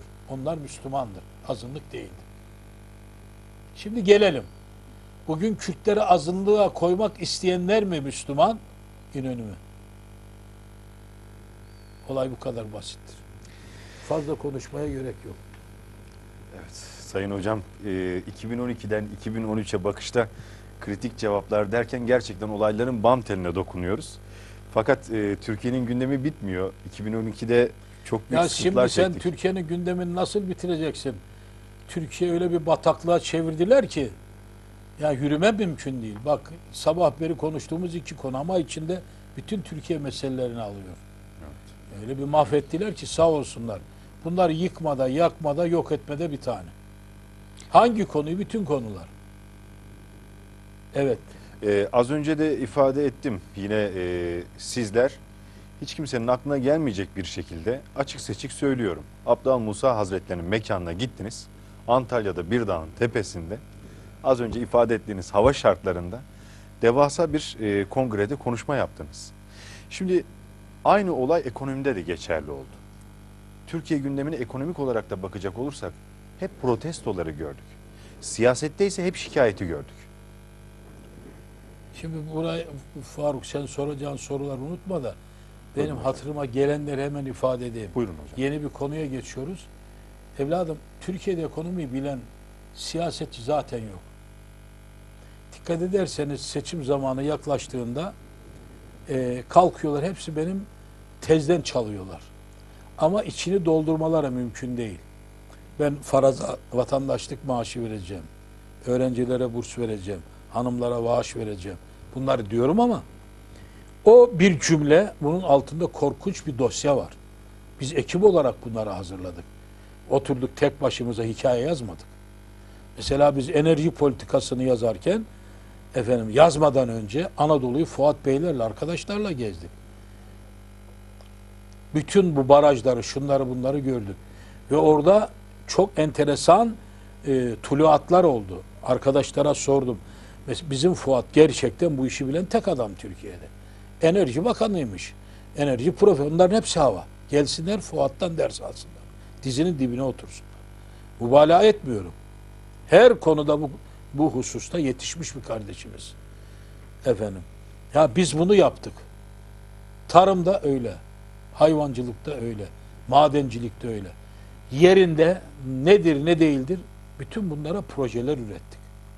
Ve milletimize dedik ki evet siz bizi siyasi kadro olarak tanımadınız. Haklısınız. Ama biz bu işi bilerek gelen bir kadroyuz. Ve bu kadronun tamamı Allah'a şükürler olsun. Yüzde 99, onda 9'u benimle beraber samimi, hukuku olan arkadaşlarımdı. Birçoğu benim öğrenciyken ilkokuldan bu tarafa talebemdir. Ben yetiştirdim onları. Her konuda. Şimdi bizim kadro her konuda doludur. Açarsın enerjiyi konuşursun. Tarımı konuşursun. Hayvancılığı konuşursun. Madenciliği konuşursun. Tak atlarsın İslam'ı konuşursun. Yani bizde yok yok. Dört dörtlük arkadaşlarım. Hem de her konuda bir akademisyenin aldığı kültürü bilgiyi aldılar. Biz böyle donanımlı çıktık milletin huzuruna konuştuk. Eğer bunlara oylarınızı verir, bunlarla yolunuza devam ederseniz size söylüyorum ülke parçalanma noktasına gelecek, siz biteceksiniz. Bilhassa tarım kesimine çok tembihlerde bulundu. Neden? Avrupa Birliği'nin Türkiye üzerindeki hesabını gayet iyi biliyorum. Okuduk, dinledik, orada ilim adamlarıyla sohbet ettik. Avrupa diyor ki bize pazar lazım. Ne pazarı lazım? Buğday pazarı, mısır pazarı, yetiştirdiği efendim e, sebzenin, tahılın, şunun bunun pazarı lazım. Hatta yağın, yumurtanın pazarı lazım. Sizin nüfusunuz çok diyor. Dolayısıyla siz bize çok güzel bir pazar olabilirsiniz. E Sizin nüfusunuz Türkiye'nin yüzde 55'i. Tarım bölgesinde oturanlar. Açık net adam hiçbir şey gizlemiyor. Bunu yüzde ona bilemedin yüzde on beşe düşüreceksiniz. Yani köyde atıyorum 30 milyon oturuyorsa 40 milyon oturuyorsa bunun 30 milyonu şehire inecek 10 milyon orada kalacak.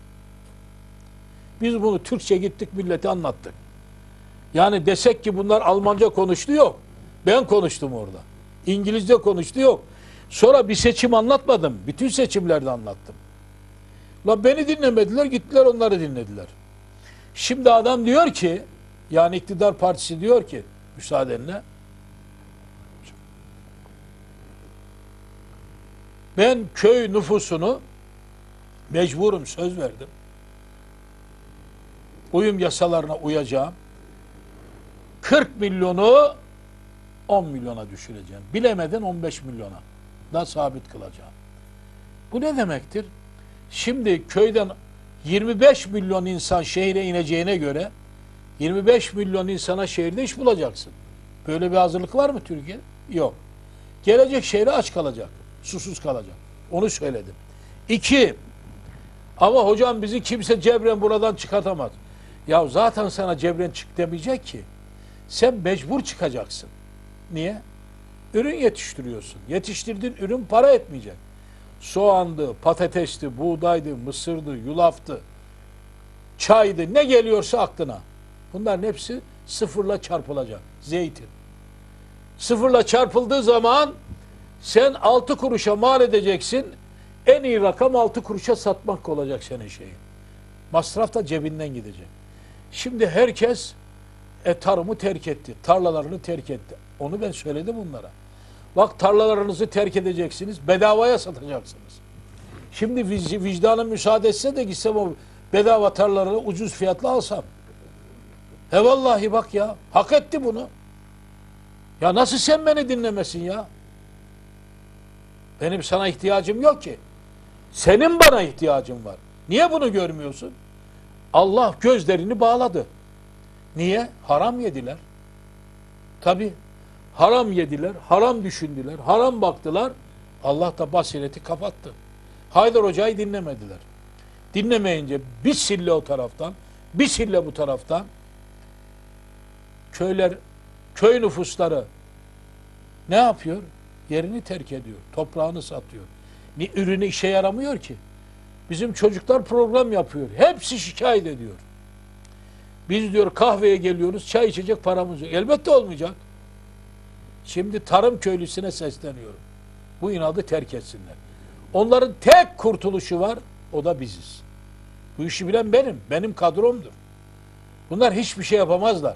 Ne hayvancılığı bilirler, ne tarımı bilirler. Bunlar iyi topraktan yola çıkarak satmasını bilirler. Coğrafyayı da satarlar, köylüyü de satarlar. Ama hayır ben bu kazığı yemem diyorlarsa mutlaka dönüş yapmaları lazım. Geçen seçimde gittim. Ee, Bursa'nın bir köyüne. Konuştum onlara. Bakın dedim başınıza bunlar gelecek. Hocam şu şu şu anlattılar bana. Tamam biliyorum. Ama sizin kurtuluşunuz bende. Bunu ben bildiğim için yola çıktım. Sonra Allah'ın izniyle ben dediklerini bugüne kadar yapan bir adamım. Sonra hiçbir zaman rüzgar bana arkadan esip de ileri atmadı. Hep karşımdan esti. Ben rüzgara karşı savaşan bir adamım. Bir defa sağdan, soldan, arkadan dili esse yine toz edeceğim bunları. Samimi konuşuyorum. Bunlar kim ya? Nedir bunlar? Kaç paralık adamdırlar? Bunu laf olsun diye söylemiyorum. En ciddi adamlarını getirsinler.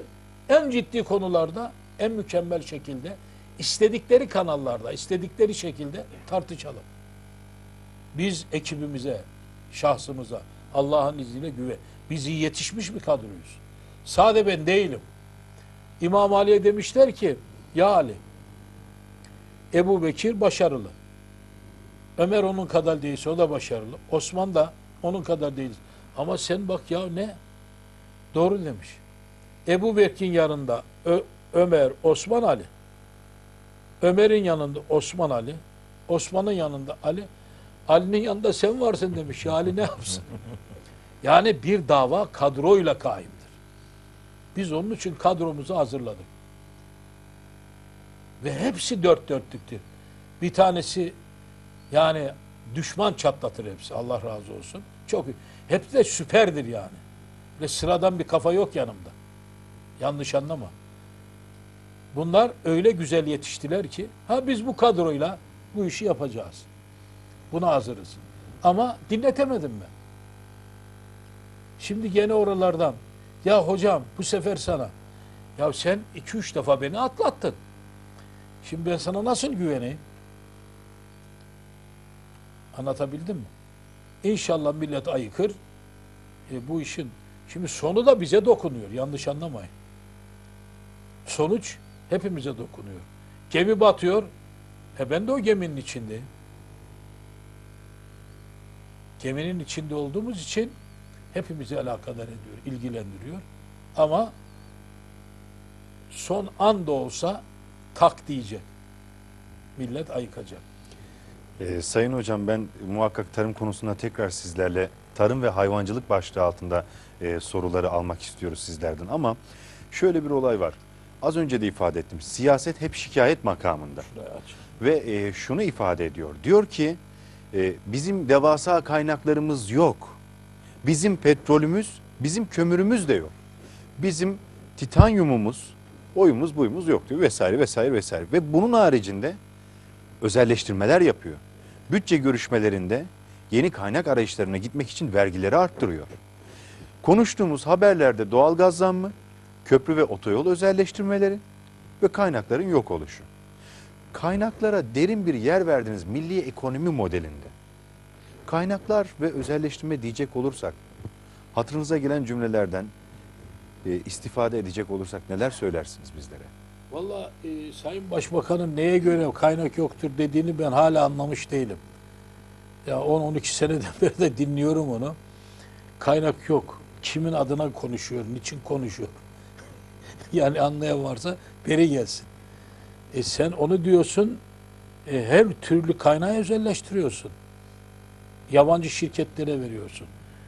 Efendim o kitabı keş, keşke alsaydım yanıma. O bir sürü ecnebi e, şirketler var. Türkiye'nin altın kaynaklarını, bor kaynaklarını, toryum kaynaklarını, bakır kaynaklarını bunlara devrettiler ya. Ya parayla da değil. Yüzde iki vergi alacak. Adam Türkiye'nin altınını çıkartacak.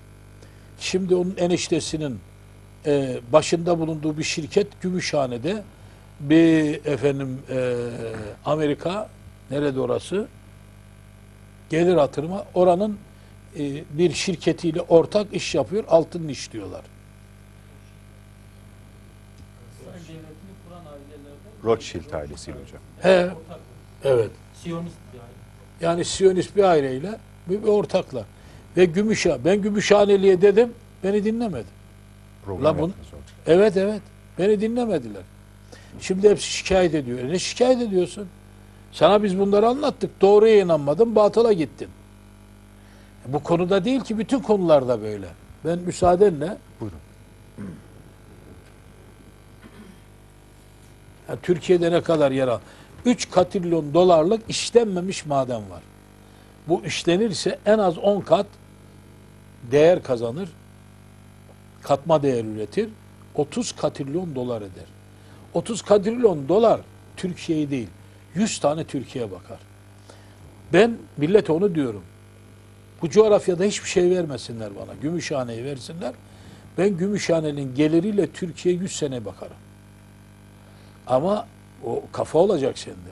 O azim olacak, o gayret olacak. Değil mi? Bak bor. Dünya rezervinin yüzde yetmiş beşi Türkiye'de. Dünyada on defa birinciyiz. Ne de borda. İki, kömür. Dünyada birinciyiz.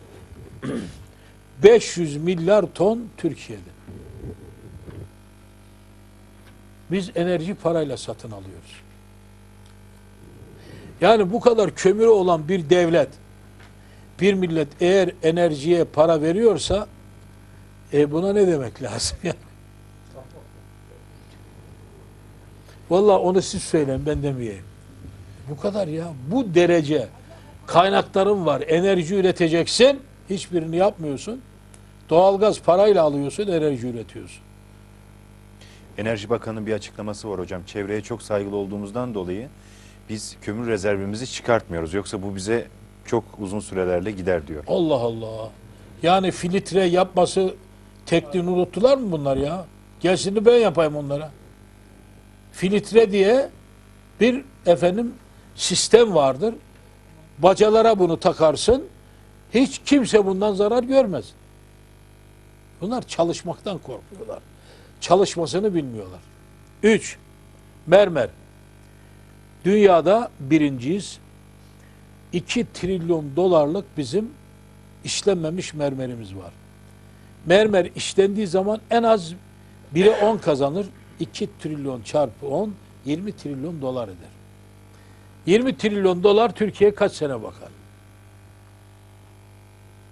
Soruyorum cevap ver ya. Hocam 100 değil 200 bence.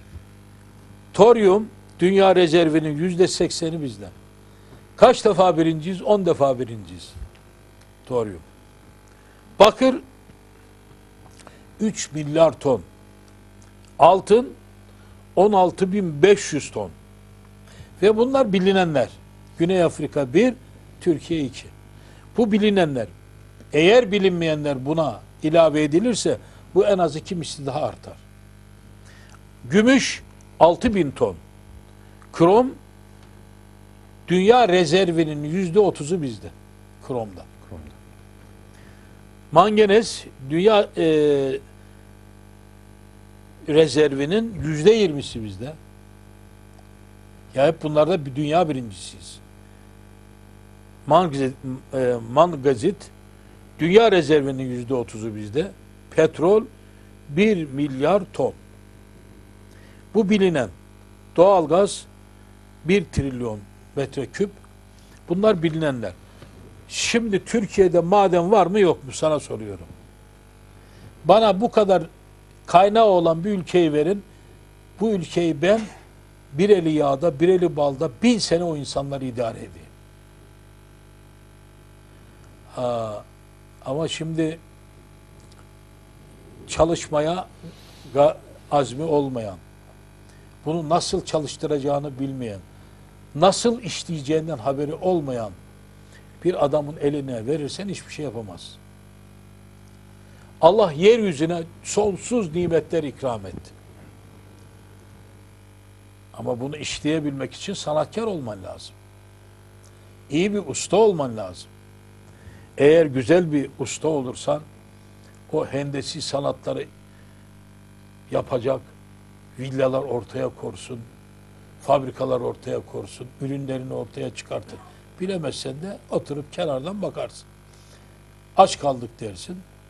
Öteki de der ya yorulmuyorsun, üşenmiyorsun, konuşuyorsun der sana. Bu bir zihniyet meselesidir. Yani bunlar bizim ülkemizde var. Sayın Başbakanımızın bunları bilmediğini zannetmiyorum. Çünkü kendi eliyle bunları ya yıl, yılda bin tane, iki bin tane özelleştirme, bunları devretme muamelesini yapan onlar. Biz değiliz ki. Nasıl yok diyebilir. Herhalde o konuşurken bunları unutuyor Ee, diyebiliriz. Özelleştirmeler konusunda e, şöyle bir söylemi vardı iktidarın. Biz çok iyi yollar yaptık. Fakat şimdi görüyoruz ki köprü ve otoyollar bakımı fiyatına özelleştiriliyor. O tabi e, bazı insanların e, kalkınmaya ihtiyacı var. Onlara el tutmak lazım. E, millet orada ölsün canım. Onlar besleniyor ya. Bunu bana değil de ona sor. Niye böyle yapıyorsun diye. Evet. Ee, şöyle bir durum var. Bu özelleştirmeler gerçekleşirken e, aynı zamanda tarım ve hayvancılık konusu tekrar karşımıza çıkıyor ama bir şey daha oldu. Tarım ve hayvancılığın öncesinde isterseniz bunlardan da bahsedelim. Bu tür kaynakları sizler sayarken iktidar süresince 7 milyar TL'den 250 milyar TL'ye ulaştı vatandaşın kredi borcu. Ha onu ben yazdım. Müsaadenle onu bulayım da. Böyle bir rakam var elimizde. Evet evet. Ya çok şey var bu Böyle bu- bunların 5-10 misli not vardı bende yukarıda. Dedim milleti böyle vatandaşın bankalara borcu 10 yılda 7 milyar TL'den 250 milyar Evet. TL'ye yükselmiş. 35.7 kat. 35 kat, 36 kat. Vatandaşın borcu arttı. İki, tüketici kredisi borçlu kişi sayısı 10 yılda 1.6 milyon kişiden 13 milyon kişiye çıktı. Tam 8.1 kat arttı. 8 kat arttı yani. Yani hiçbir şey aşağı düşmedi. İki, ödemeyen senet tutarı, ödenmeyen senet tutarı 1 milyar TL'den 6.3 milyar TL'ye yükseldi. Yükseliş tam 6.3.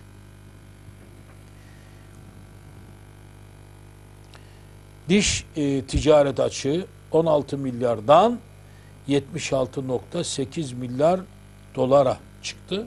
4 misli, 5 misli arttı. Diş ticareti.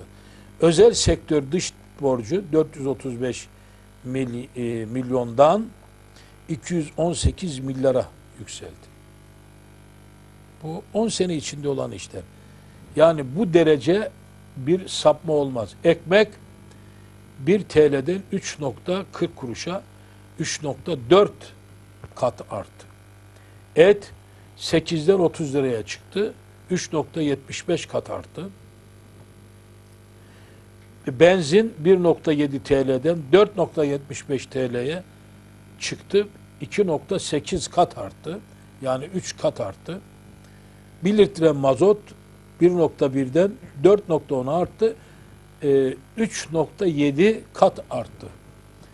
Sağ olsun yani. Ama e, emekli maaşlarına da ayda 22 lira mı 24 lira mı ne zam geldi aferin. Maliye Bakanı diyor ki Sayın Hocam, emekliye ülkeler arasında en büyük zammı ve maaşı biz veriyoruz diyor. Sayın Şimşek ifade ediyor bunu. Kendisi öyle söylüyor. Ne bir daha söyle bakayım. Emekliye en büyük maaşı, en yoğun maaşı biz veriyoruz diyor. Bütün ülkeler arasında. Türkiye veriyor. Bütün ülkeler derken e, dünyada emeklisi olan ülkeler yoktur. O sistematik olarak mesela Rusya'da emekli yoktur. Sosyalist bloktan gelenlerde emekli yoktur. Herkes elene, ölene kadar devletten maaş alır. O hiçbir şey bilmiyor. Peki, Batı'da pardon. ben şimdi söylüyorum. Buyurun. Asgari emekli maaşı 2000 eurodur. Hangi devletten bahsediyor o? O herhalde uzayda bir yere gitti de oradan bahsediyor. Öyle bir şey yok. Yunanistan'da da bahsetmiş olduğunuz rakamdan bir daha Yunanistan'da da öyle. battı ama Yunanistan. Nasıl? Batmasına rağmen böyle. Türkiye, hayır Türkiye 10 defa battı. O bir defa battı. Evet. düşürmedi diyorsunuz. Ama düşürdükleri de var mesela. E, Bizim 2000'den önce hayvan sayımız 66,5 milyonmuş. Adamlar 49,5 milyona düşürmüşler. Niye? Düşürmüşler işte. Yok sen onu Yani fazla düş- söyle. Düşürdükleri de var yani. Sen, sen o onu sana diyecektim. Onlar o senin verdiğin rakamlar çok mübarek rakamlar. O e, o rakamların en az yüzde ellisi kadar da aşağı indi. He, samimi diyorum ben yeni notlar vardı bende. O konuyu sen konuşacağın için ben o almadım onları. 17 Kaç milyon. mesela kaç milyon e, hayvan sayısı var orada? 66,5. 66 en fazla 30 milyon. Evet. Bu derece. Mahvetti gittiler ya. Yani vatandaşta para mı kaldı? Mesela git sen Kars'a gidelim. Ben Kars'a 1976'da 75'te hayvan almaya giderdim. Ee, bu süpermarketlerin bölge müdürüydüm. Mü- Bölge müdürlüğü yapardım. Tırlar dolusu hayvanlar aldım. Köye girdiğin zaman hayvan sürüsü vardı. Vallahi de billahi geçenlerde biz gittik bu seçim çalışmalarına. Dedim ya gittiğimiz yer. Nerede bu hayvanlar? Hocam nerede dedi hiçbir tane yok dedi.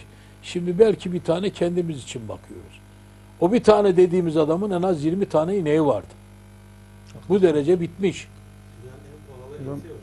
Aynen öyle. Şöyle de haklısınız. Bu sayıların içerisinde tahmin ediyorum bunların dışarıdan ithal ettiği anguslar da vardır.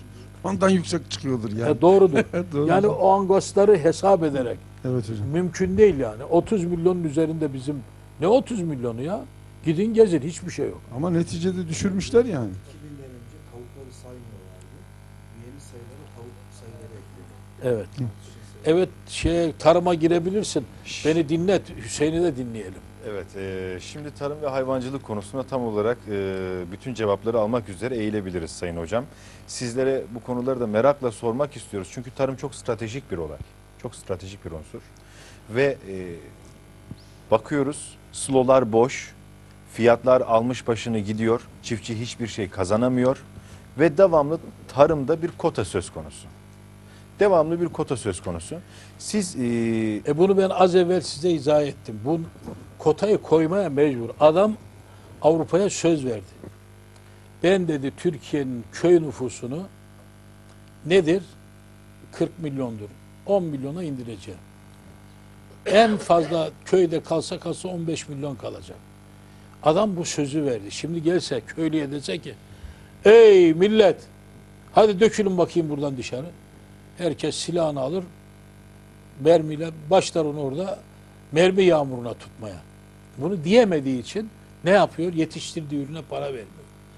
Vatandaş da geçimini temin edemediği için arazi şartlarında köyünü satıyor, şehre iniyor.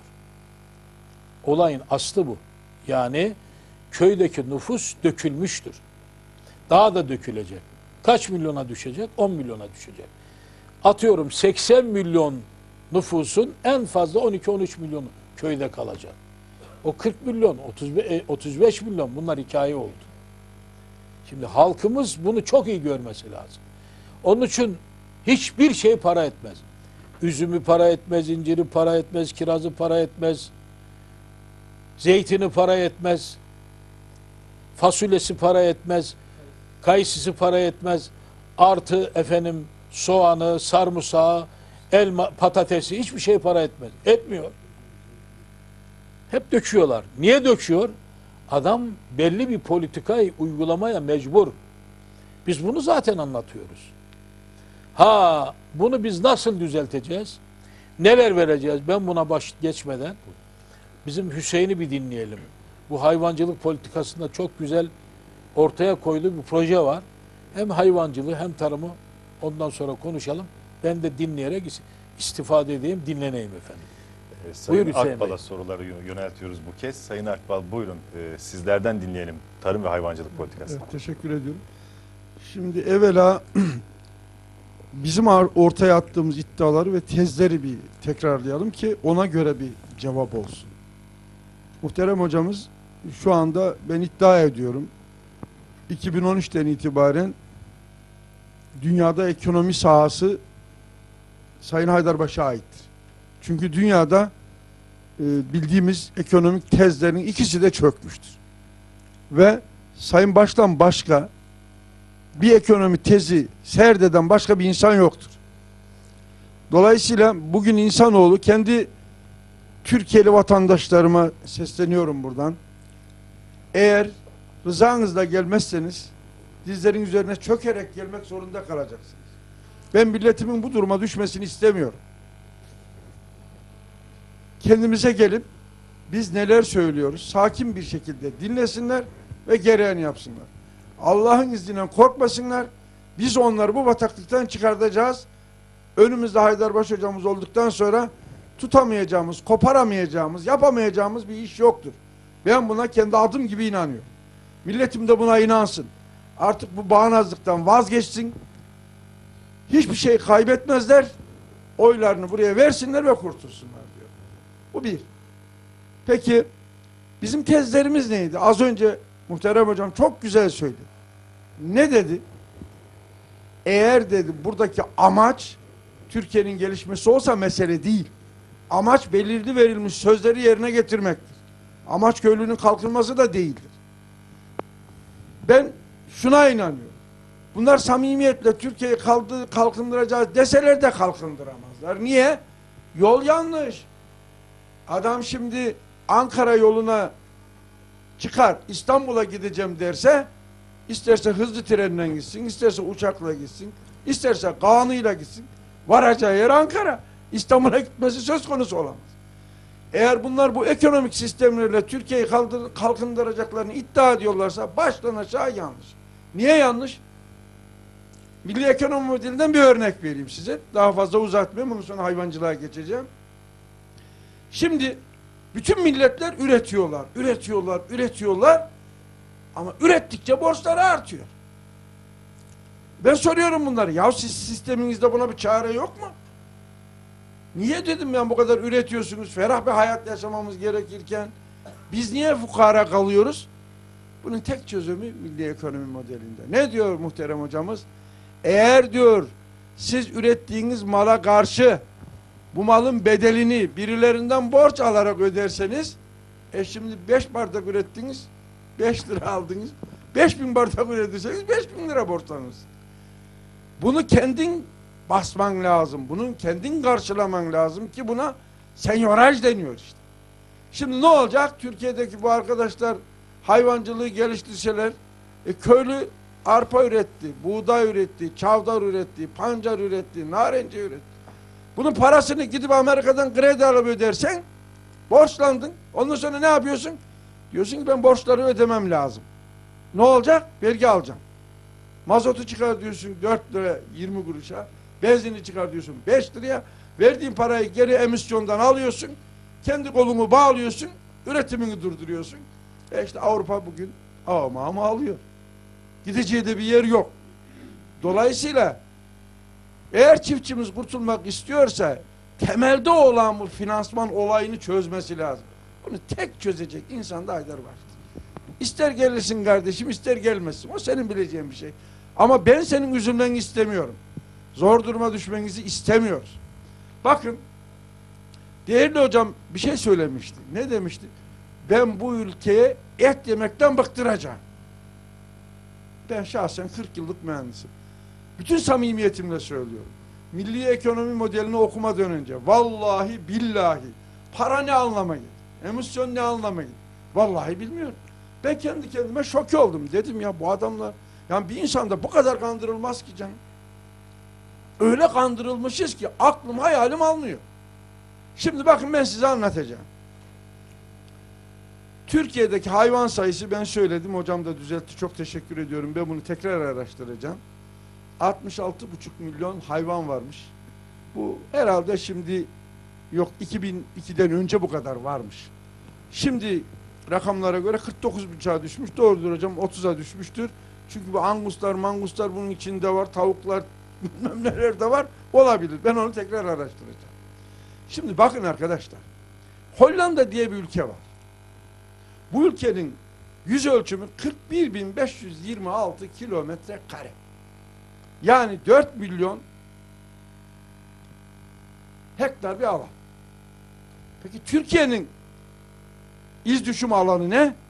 779.452. Yani 20 kat Hollanda'dan büyük. Peki bu küçücük Hollanda tarım ve hayvancılıktan 84 milyar avro yıllık ihracat yapıyor. Eğer bunu doğru orantı olarak çarparsak biz Türkiye'nin 1 trilyon 620 milyar avroluk sadece ihracat yapması lazım. O zaman gelin de siz Haydarbaş Hoca'ya hak vermeyin. Peki neden biz şu anda yaptığımız ihracat 22 milyon milyar doları geçmiyor? Bunu şey diyeceğiz. Şimdi hayvancılıkla ilgili bazı sayısal bilgileri vereyim ve projemize geleyim.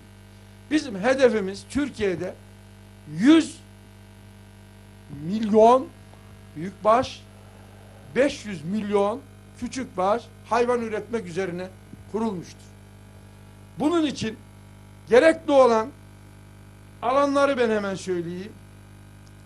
200 büyükbaşlık çiftlikleri ve 1000 başlık çiftlikleri kurduğumuz zaman 100 milyon büyükbaş için 10 milyon hektar bizim meraya ihtiyacımız var. Peki bin koyunluk çiftlikleri ve 5000 koyunluk çiftlikleri kurduğumuz zaman da bizim 8 milyon hektar mera alanına ihtiyacımız var. Toplam ne oldu? 18 milyon hektar. Peki Türkiye'nin şu anda hesabı yapılmış, metrekaresi çıkmış mera alanı ne kadar? 21.7 milyon hektar. Çok rahat bizim mera alanlarımız yetiyor, artıyor bile. Peki bunun için ne kadar efendim ekim alanlarına ihtiyaç var? Büyükbaşlar için 120 milyon ton yemlik malzemeye 280 milyon ton silaj malzemesine ihtiyacımız var. Bunun için de toplam 8 milyon hektar alana ihtiyacımız var. Oysa bizim ekilmekte olan alanlarımızda 17.8 milyon hektar. Yani yarısı bile değil. Ondan diğer işte unumuzu, bulgurumuzu, neyse diğer ihtiyaçlarımızı tarımsal alan olarak ayırıyoruz. Önemli olan burada sonuç şu. Bu çiftlikleri kurduğumuz takdirde bizim en az 5 milyon ailemiz patron oluyor. Sadece patron, çalışan değil. 30 milyon, 40 milyonun üzerinde o zaman Haydar hocam şunu demişti. Ben size yurt dışındakilerin işçi getireceğim. Al sana işçi. Ya sadece büyükbaş ve küçükbaşta 40 milyon adam çalışırsa bunun arıcılığı var, balıkçılığı var, var, var, var. Ziraatı var, ekim. O zaman biz topumuz 73 milyon bunun yarısını çocuğa çıksa hepimiz patron oluruz. Ve herkes işçi getirir. 2 2 daha 4 gibi her şey orta yerdeyken biz niçin buna sahip çıkmıyoruz? Son söz olarak şunu söyleyeyim.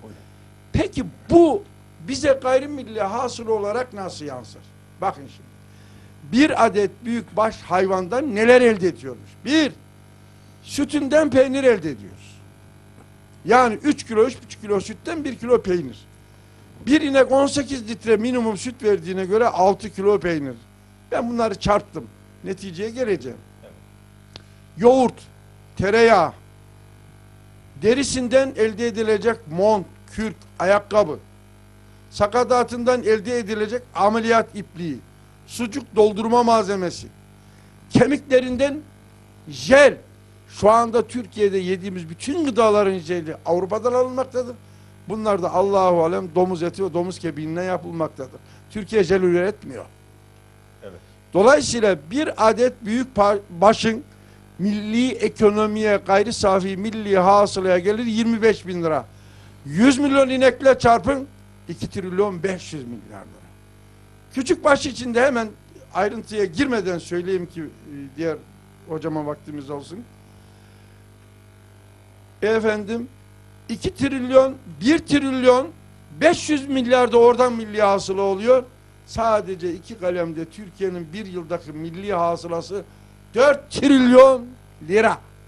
Bu ülke nasıl fukara olur? Böyle bir ülkeyi fakir yapmak ben samimi olduklarına inanmıyorum. Belki hocam iyi niyetle şöyle ben inanmıyorum.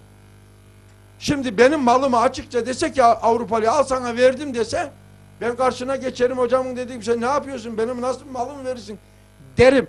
Ama bunlar şimdi diyorlar ki ya kardeşim sana para ödedik adama borçlandık ne yapalım?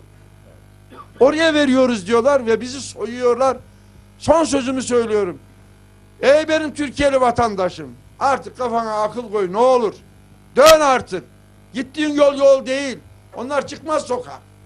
Gel hakikate kurtul diyorum. Teşekkür ederim. Çok teşekkürler Sayın Akbal. Ee, bu vermiş olduğunuz bilgilerden dolayı ben ara bir anekdot olarak sizlerden projelerinizi rica edeceğim ve tarım konusundaki, hayvancılık konusundaki düşüncelerinizi alacağım. Sayın Baş, sizler Türkiye Gümrük Birliği'ne girdiğinde Avrupa Türkiye'yi pazar yapmak istiyor dediniz. Biz bugün GDO'lu ürünleri konuşuyoruz. Avrupa Türkiye'yi pazar yaptı. Ama Türkiye'yi kanser de yaptı. Bizler ölüyoruz. Çünkü GDO'lu ürünlerle besleniyoruz. Uzmanları dinliyoruz. Ne kadar kokuşmuş gıda varsa hepsi Türkiye'ye geliyor. Doçent doktor birçok isim var. Tek tek sıralayabiliriz. Böyle bir pazardan hangi projelerle kurtuluruz? Evvela kardeşim Hüseyin'e çok teşekkür ediyorum. Hakikaten eee, hayvancılık konusunda fevkalade bir proje. Bunu gerek tavukçulukta, gerek inekte, gerek koyunda her türlü sahada uygulayabilirsin. Yani yani öyle e, ithal edilecek herhangi bir şeye ihtiyacın yok. Kendi tabii şartlarında o şimdi işin en e, olması gereken şeklini anlattı. Siz bunun yüzde ellisini hayata geçirirseniz bu kazandığınızın en az yüzde ellisini kazanırsınız. Yahut dörtte birini kazan. O zaman bir trilyon Türk lirası eder. Tarımdan Türkiye'nin bir trilyon Türk lirası girdi olduğu zaman oho, nerede sen bu kadar parayı kazanacaksın? Şimdi bu bir tarafa sizin ifade ettiğiniz hususa gelince Avrupa'nın hesabı e, Türk nüfusunu her konuda değerlendirmek istiyor. Eğer askere ihtiyacı varsa Türk milletinin gencini asker yapacak, affedersin eşek edip binecek, at edip sürecek. Yani ölüme gönderecek. Bugün onun için ben bu hükümetin beğenmediğim tarafı şu. Afganistan'da oradaki Müslümanlara karşı Hristiyanların safında Müslümanları dövüyorlar. Hayır, eğer bunlar temelde bak Cumhuriyet Halk Partisi bunu yapmadı. Koalisyon hükümeti bunu yapmadı. Bu adam yapıyor. Karşı çıktı.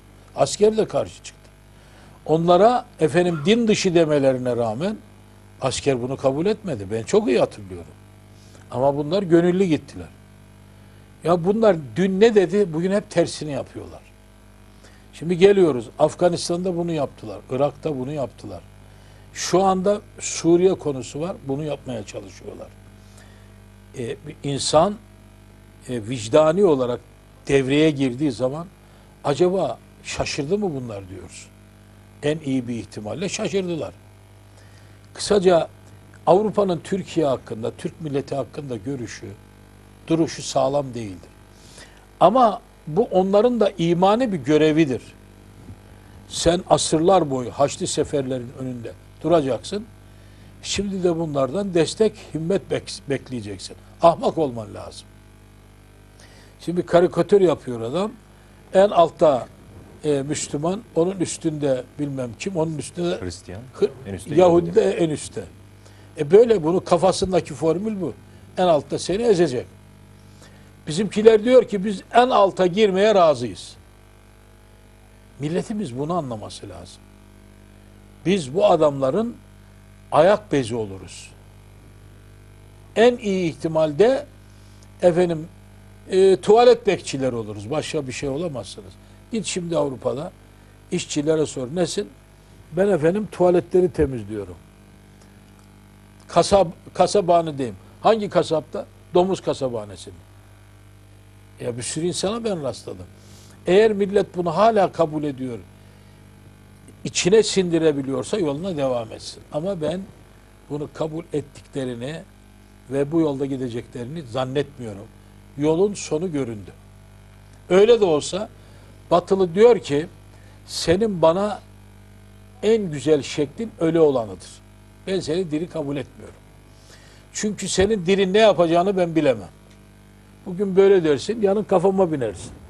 Yani bize güvenemiyor Batı. Haklıdır. Çünkü e, sen asırlar boyu onunla mücadele verdin. İşte bu dinler arası diyalogla ısındırma hareketi.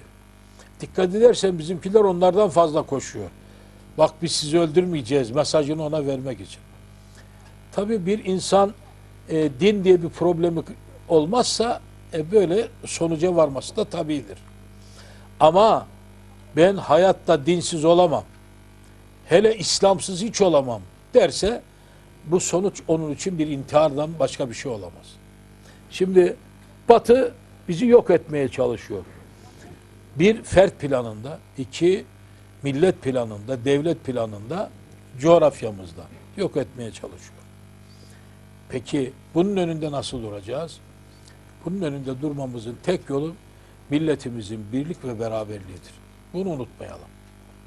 Onun için Türk milleti içinde ne kadar etnik unsur olursa olsun milli ve manevi bir bütünlüğe sahiptir.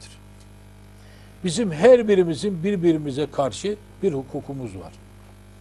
Bakma bu son dönemlerde işi bilmeyen, biraz da ihanet vesilesiyle milleti birbirine takan etkenler oldu doğru. Ama milletimiz ben bunu iddia ederek konuşuyorum. Hangi grup olursa olsun, hangi meşrep olursa olsun, bir tanesi hariç. Kökü Amerika'da, Pensilvanya'da artı papazhanede. Kökleri olanlar hariç. Çünkü bunların ideolojileri çok farklı. Bu milletin milli manevi ideolojisine uymaz. Bunların dışında PKK'da dahil hepsi bizimle beraber olur. Hepsi. Çünkü PKK'nın daha çıkış nedenini Sayın Bakan da söyledi. Bana da yapsalar dedi ben de çıkardım. Demek bakanı da aa, yola getirecek olan bizim tezimiz. İhtiyaçlarını karşılayacak olan bizim tezimiz. Biz bu işi biliyoruz. Biz bu işi yaparız. Adam gidiyor viran şehre. Aa öyle şehir mi olur, öyle yol mu olur, öyle bilmem ne mi olur. Lan sanki bu adam efendim 30 sene ayda yaşamış, 20 sene Merik'te. Ondan sonra dünyaya Ya sen Türkiye'de 10 seneden beri başbakansın. Neye konuşuyorsun ya? Bir muhalefet lideri ancak bu kadar konuşuyor. Bu nerede olduğunu da bilmiyor. Adama sorarlar peki sen bu başbakansın da buraya ne yaptın? Onu yapılar. Ne yaptın sen onu söyle.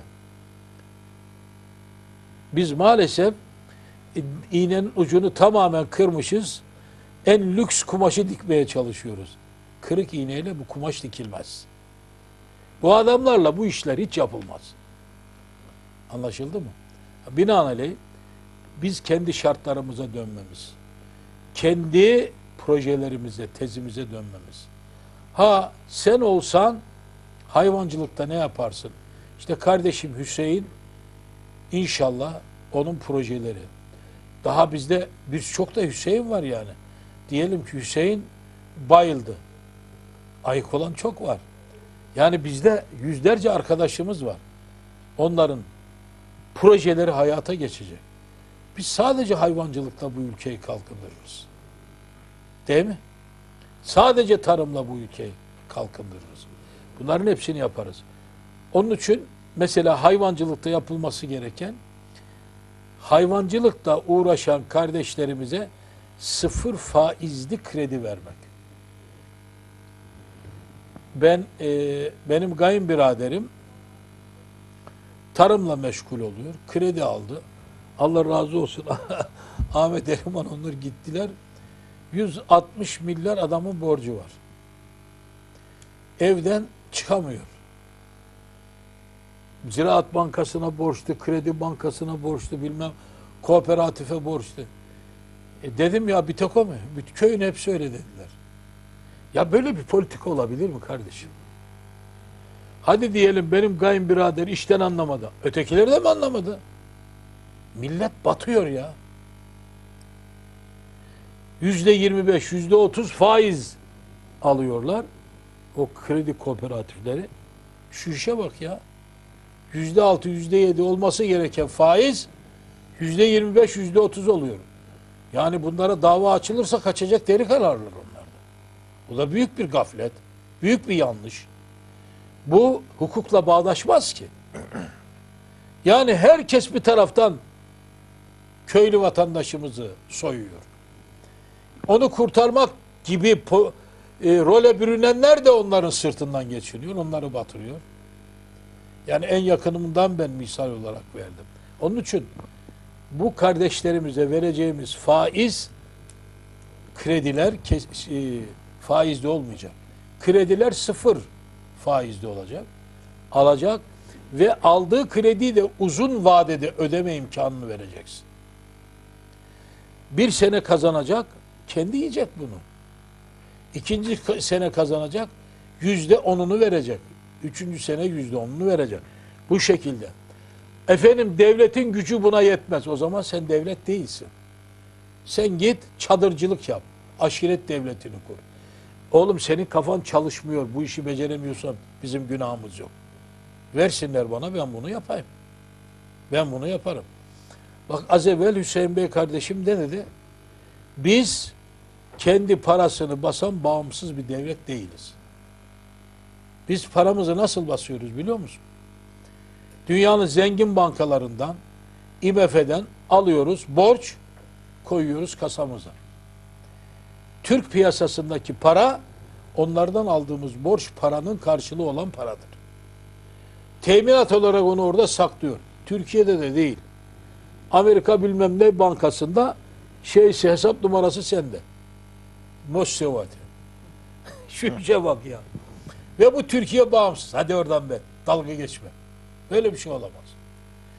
Ve 35-40 seneden beri Türkiye Cumhuriyeti Devleti bağımsızlığını bana göre yok etmiştir. Niye? Bağımsız devlet parasını baştan devlettir. Ama hocam üstünde Türk lirası yazıyor. Üstünde yazıyor ama o şeyin tercümesi, doların, euronun tercümesi para. Senin paran değil. Senin paran ne zaman olacak? Her milletin bir yılda bir kazancı vardır. Geliri vardır, gideri vardır. Bu sonuçtaki kazancın adına gayri safi milli hasıla denir. Gayri safi milli hasılanın asgari olarak yüzde otuz beşi para olarak buna emisyonu genişletmek, senyöraj hakkını kullanmak denir. İktisat diliyle. Ama biz bizi takip eden kardeşlerimize iktisat dersi vermiyoruz. Sohbet ediyoruz. Paramızı basacağız. Yüzde otuz beş. Ne kazan? Bizim şeyimiz ne oldu? Bir buçuk trilyon. Gayri safi milli hasılamız. Yüzde otuz beşi bırak. Yüzde otuz iki olursa tam 500 milyar affedersin beş, evet 500 milyar Türk lirasını piyasaya sürmemiz lazım. Bir yılda. 500 milyar. Şimdi arkadaşlar 500 milyar eski hesaba göre 500 trilyon mu ediyor? Katrilyon ediyor. 500 katrilyon piyasaya sürmemiz lazım. Bir, bir buçuk katrilyonun 500 katrilyonunu piyasaya süreceğiz. 500 katrilyona soruyorum sana. Öğrencilere burs verebilir misin? Konuşma, konuş. Verirsiniz hocam. Hanımlara e, maaş verebilir misin? Veririz hocam. Vatandaşa maaş verebilir misin? Veririz hocam. Sadece onunla. Bir, birincisi bu. ikincisi esnafımdan ben vergi almayacağım. Ne kadar? 100, 100 milyar dedim. Şimdi bu düşük kaldı. 150 milyara çıktık. 150 milyarın altındaki esnaftan para almayacağız. Anlaşıldı mı? Onun üzerinde kazancı olandan hakkıyla vergi alacağız. İkinci kaynağımız da bu. Kimden alıyoruz vergiyi? Kazanandan. Kazanmayandan vergi alınır mı ya? Bir de senin akarların var. Gerçi sağ olsun Sayın Başbakan bu akarlardan hiçbirini bırakmadı. Öyle değil mi? Özelleştirme. özelleştirmeyle bütün bunları elimizden çıkardı. Petkim, Tüpraş, Poğaş, Erdemir, Seka, yollar, rıhtımlar, gemiler bir şey satmadığı bir şey kalmadı. Özelleştirmediği bir şey kalmadı. Bu yolla Sayın Başbakan'a 10 tane şampiyonluk verdi. Deseler ki bir devletin elindeki kıymetleri çıkartabilen insanları biz yarışmaya koyduk. Birinci kimdir? Yeminle konuşuyorum Sayın Başbakan olur. Ha böyle bir ülke hakikaten o zaman vatandaşın sırtına binmeye mecbur kalır. Biz bunlarla beraber yılda en az bir trilyon Türk lirasını piyasaya süreriz. Bu kimin cebine gider? Tarım köylüsünün, hayvancısının, Biz. memurun, işçinin, emeklinin, askerin, polisin, talebesinin, herkesin cebine gider. Bolluktan geçilmez. Bir çift ayakkabı satıyordun 20'ye çıkacaksın. O zaman bir işçi çalışıyordun 20 artacak. Şu anda Türkiye'de işçinin nüfusu kaçtır? Aktif olan atıyorum 2 milyon. 20 ile çarp 40 milyon işçi lazım sana. Sen şimdi Avrupa'dan işçiye ihtiyacın olacak mı olmayacak mı? Haydar Hoca'yı getirsinler görsünler. Avrupalıyı ben burada işçi yapacağım. Ama benim arkamda millet durmuyor. Onun için üzülüyorum buna. Şundan üzülüyorum. Benim dediklerim değil. Şu adamlara istediğimi yaptıramadığım için ona üzülüyorum. Ne demek ya? Türk milletini köle yaptılar. Yıllarca Avrupa'da eşek edip bindiler, at edip sürdüler. Benim işçim orada domuz mezbahasında çalışıyor. Tuvaletlerde çalışıyor. Sokaklarda çöpçülük yapıyor.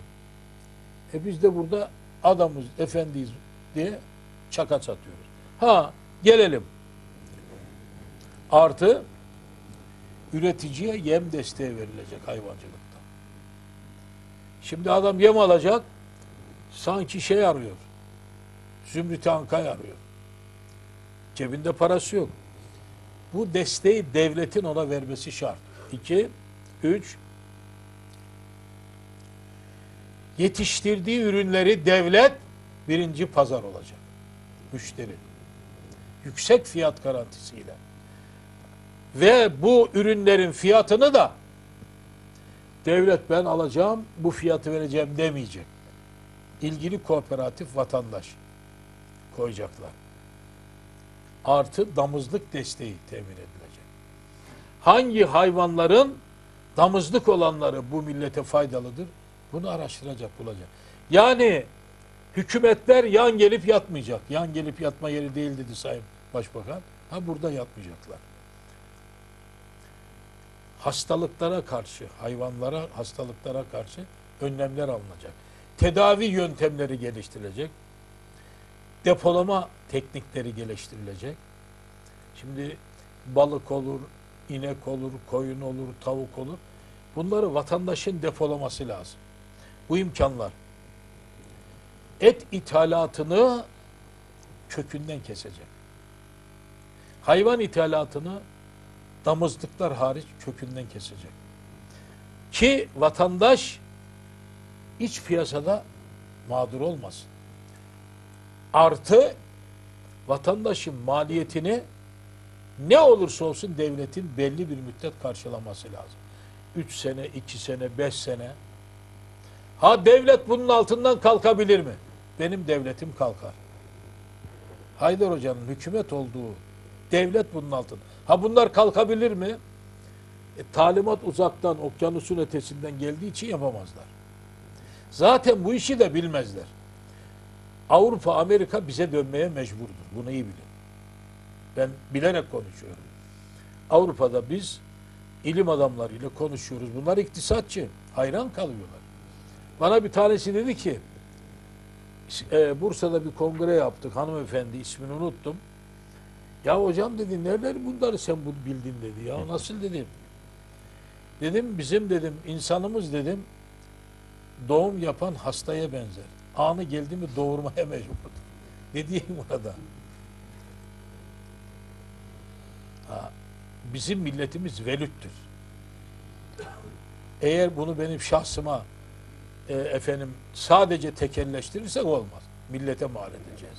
Ama Almanya Kongresi'nin de yine oradaki baraj örneğinden yola çıkılarak gerçekleştiğini biliyoruz. Türk hükümeti üniversitelere danışıyor Almanya'da. E bunun sonucunda oradakiler de yine sizi işaret ediyorlar. Ve bu kongre olmadan önce gerçekleşiyor. Demek ki bizi Avrupalılar bize anlatacak. Bize de yazıklar olsun. Evet. Doğrudan gelir desteği yanında sigorta ve ıslah çalışmalarıyla da ücreti ücretçi desteklenecek. Orada çalışan insanlar da mesela belli bir müddet çalışan işçilerin bedelini devlet ödemesi lazım sigorta ücretlerini.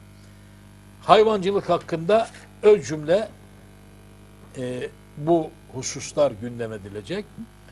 Artı tarıma gelince tarımda da evvela e, tahdit kanunlarını kaldıracağız. O yetişmez, o yok. Her şey yetişecek.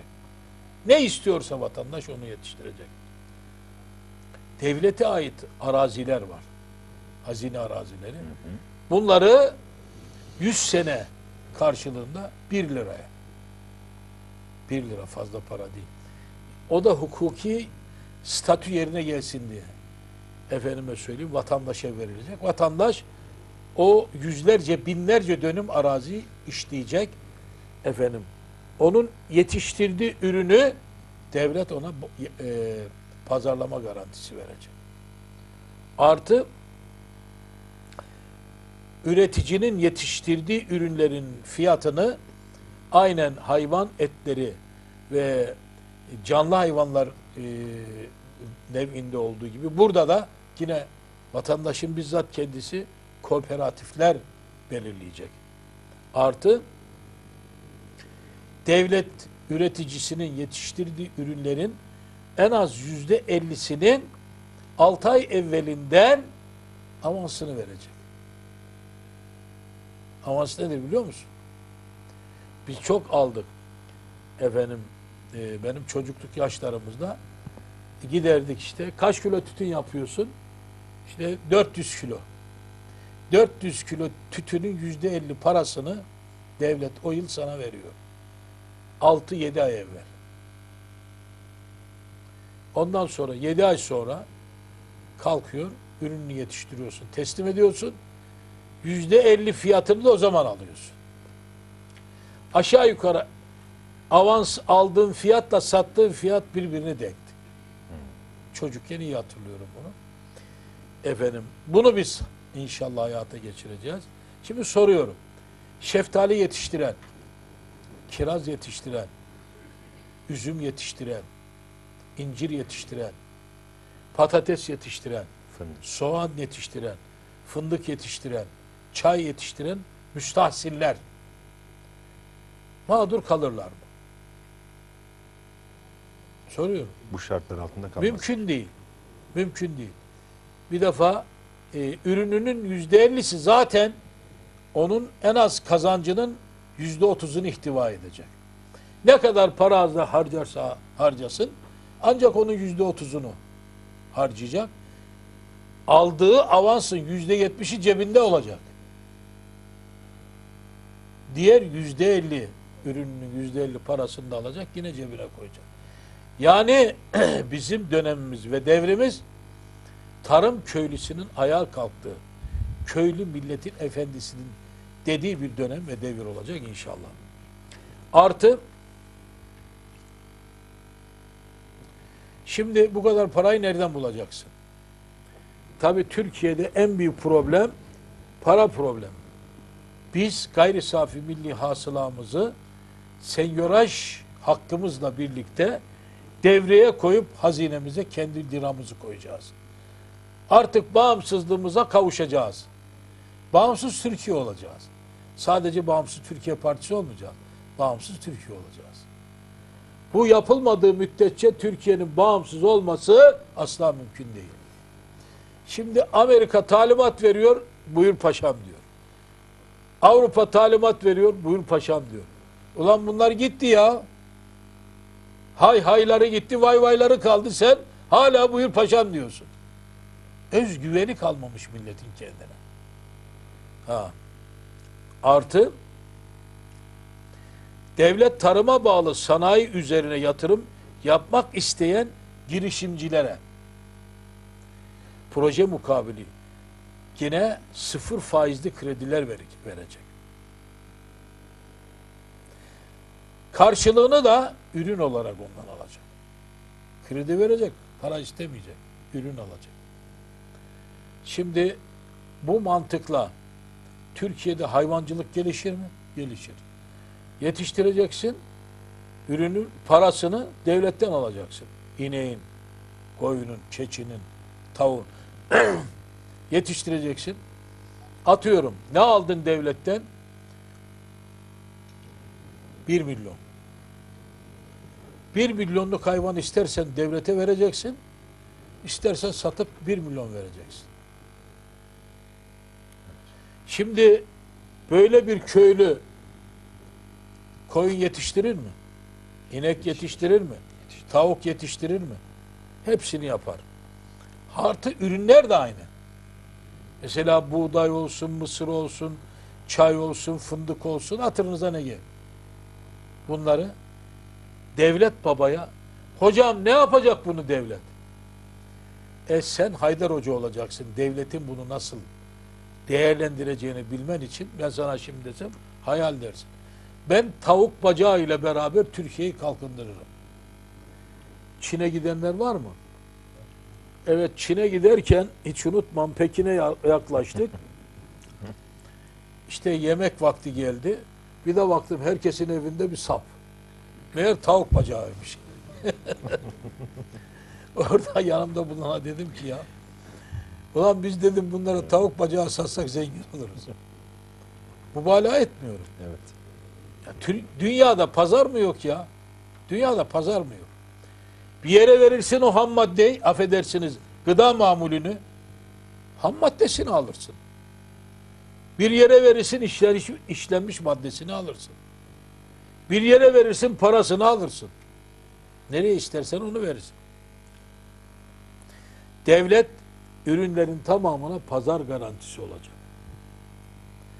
Şimdi bana oy vermeyen köylü vatandaşım ekolojik tarım teşvik edilecek. Gübre ve tarım ilaçları konusunda yatırımlar yapılacak, teşvik edilecek.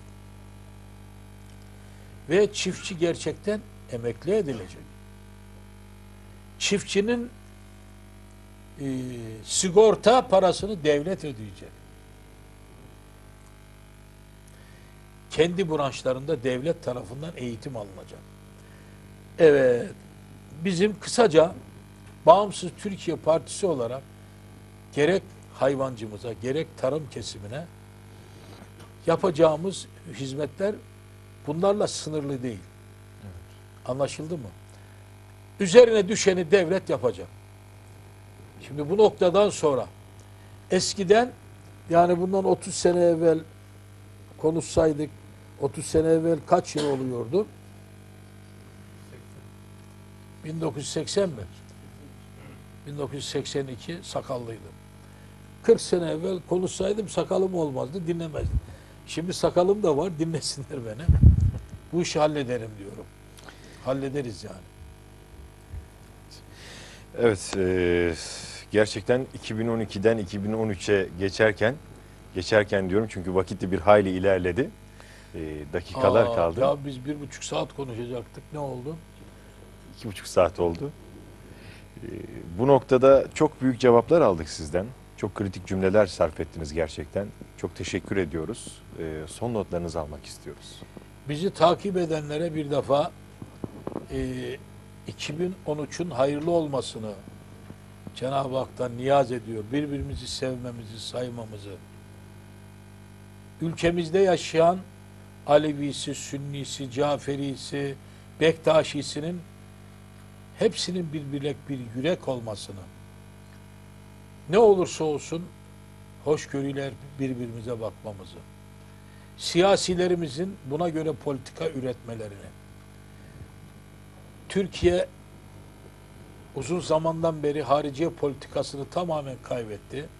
Aslına dönmesini, özellikle ülkesi üzerinde hesabı olanlarla değil, ülkesi üzerinde hesabı olmayan millet ve devletlerle ciddi ilişkilere girmesi, efendim ticari, sınai işbirliği yapması ve özellikle Suriye konusunda hem milletimin hem hükümetin ayık olması lazım. Eğer tekrar ediyorum bunu çok tekrar ettim. Bu konuşmalarda etmedim. Suriye giderse Türkiye bölünür. Kafamıza akıl koyalım. Yani bu denklemi görmeyen bana göre devlet adamı olamaz. Suriye bölündüğü zaman Esad gittiği zaman Türkiye bölünür. Bu 2 çarpı 2 eşittir 4 neyse budur. Şimdi ben bir misal vereceğim. O misal ne? Şu anda Türkiye kimi destekliyor? Teröristleri. Teröristler kimler? Eşkıyalar. Yarın orada bu bölünme gerçekleştiği zaman Güneydoğu'nun teröristlerine Batılılar sahip çıktığı zaman hangi mantıkla Türkiye siyaseti ona karşı duracak? Demez mi ona Batılı ki e Suriye şapur şupur da bize ya Rabbi şükür mü? Manyak seni. Sen ona evet sana hayır mı? Sen de bölüneceksin. Artı oranın teröristi meşru zemine otururken senin teröristin gayrimeşru zemine oturur mu? Kabul eder mi bunu? Ona meşruiyet hakkını vermiş oluyorsun. Sen meşrusun. Bunu kabul ettiğin zaman sen meşrusun. Daha işte teröristin dağdaki partisi filancıdır diyemezsin. O zaman der millet ki ulan bu adamlar istiklal mücadelesi veriyor şereflidir. Ona karşı durana şerefsiz derler. Artı onlara karşı askerlik yapacak adam mı bulabilirsin? Manyak mısın sen be? Yani millet çocuğunu ölüme gönderecek. Ne için? Vatan bölünecek. Evet demek için. E vatan bölünecek niye çocuk ölsün? Değil mi? Yani şunu demek istiyorum. Suriye gitti, Türkiye bölündü. Ha bunu bilerek veya bilmeyerek yapan adam bu sonuca evet diyen adamdır. Ama hocam yahu bunu bilmeyerek dedi. Şu lambaya dokun bilerek yanar. Veya söner. Bilmeden dokun gene yanar söner. Aynen bunun gibidir. Onun için siyasetin çok iyi düşünmesi. Bu dengeleri yerine oturtması İsrail'le değil, İslam ülkeleriyle. Ama hangi İslam ülkesi biliyor musun? Amerika bedava askerlik yapan, aferin arkasını sıvazlayanlarla değil. Ya hakiki Müslümanlarla. Ehli beyte gönül vermiş millet ve devletlerle. Bir ve beraber olacağız. Milletimizin içindeki dostlar, arkadaşlarla. Caferimizle, Bektaşimizle, Alevimizle, Sünnimizle hangisi olursa olsun. Ben bir Sünniyim. Ve çok da güçlü bir Sünniyim. Aynen İmam-ı Azam gibiyim. Ellerinden öpüyorum, ayaklarından öpüyorum. O kalktı, Ehli Beyt'in elinden yetişti. Ben bununla iftihar ediyorum. Ehli Beyt'i peygamberin evi. Peygamberin ailesi. O sülkten, o soydan gelen insanların duasını almak yolunda bulun. Büyük bir olay. Büyük bir servet. Büyük bir kazan. Türk milletinin birliği budur. Anadolu yaylası o nefesle Müslüman oldu. O ne nefesle fethedildi. Anadolu tekrar bununla. Ha buna Yavuz'dan itibaren ters düşüldüğü için bana göre çöküş Yavuz'la başlamıştır. Kanunu ile devam etmiştir ve malum tanzimatla batıya yüzümüzü döndük çöktük. Şimdi o konuşanlar, hatıralar yayınlayanlar, bunlar hep ajanlı adamlardır. Bunların hepsinin delili elimizde. Yanlış anlamayın. Eğer biz konuşmaya başlarsak kaçacak delik alarlar. Onlara bu gece söylüyorum. Daha kimse haddini aşmasın. Bilmediği bir şey konuşmasın. Sen bir kitap okumuyorsun be. Sen kimsin ya? Hayatını, başının tellerini, saçının tellerini bu yolda çürüten kadroya kafa tutacaksın. Hadi olan be. Sen nesin? Kendine gel derim. Yani biz düşmanımıza böyleyiz. Dostumuza pamuk gibiyiz. Bunu da iyi bilesin. Milletime tavsiye ediyorum. İşte bu birliği, beraberliği koruyalım, ortaya koyalım. Ve de siyasileri en iyi ihtimalle ayıktıralım. Yaptıklarına kafa sallamayalım diyorum. Tekrar 2013 yılının milletimize, İslam alemine, bütün dünyaya hayırlar getirmesini Cenab-ı Hak'tan niyaz ediyorum. Sağ olun, var olun, Allah'a emanet olun diyorum. Biz de sizlere çok çok teşekkür ediyoruz. Pek çok yönüyle bugün pek çok konuya değindik sayın seyirciler. Trabzon Akçabat'taydık. Sayın hocam Profesör Doktor Haydar Başbey bizleri misafir ettiler ve e, yine değerli kadrosuyla beraberdik. Buradan tüm Türkiye'ye bu yayını gerçekleştirdik. 2012'nin 2013'e yansımalarının daha iyi olacağını umut ediyor ederek programı artık kapatmak istiyoruz.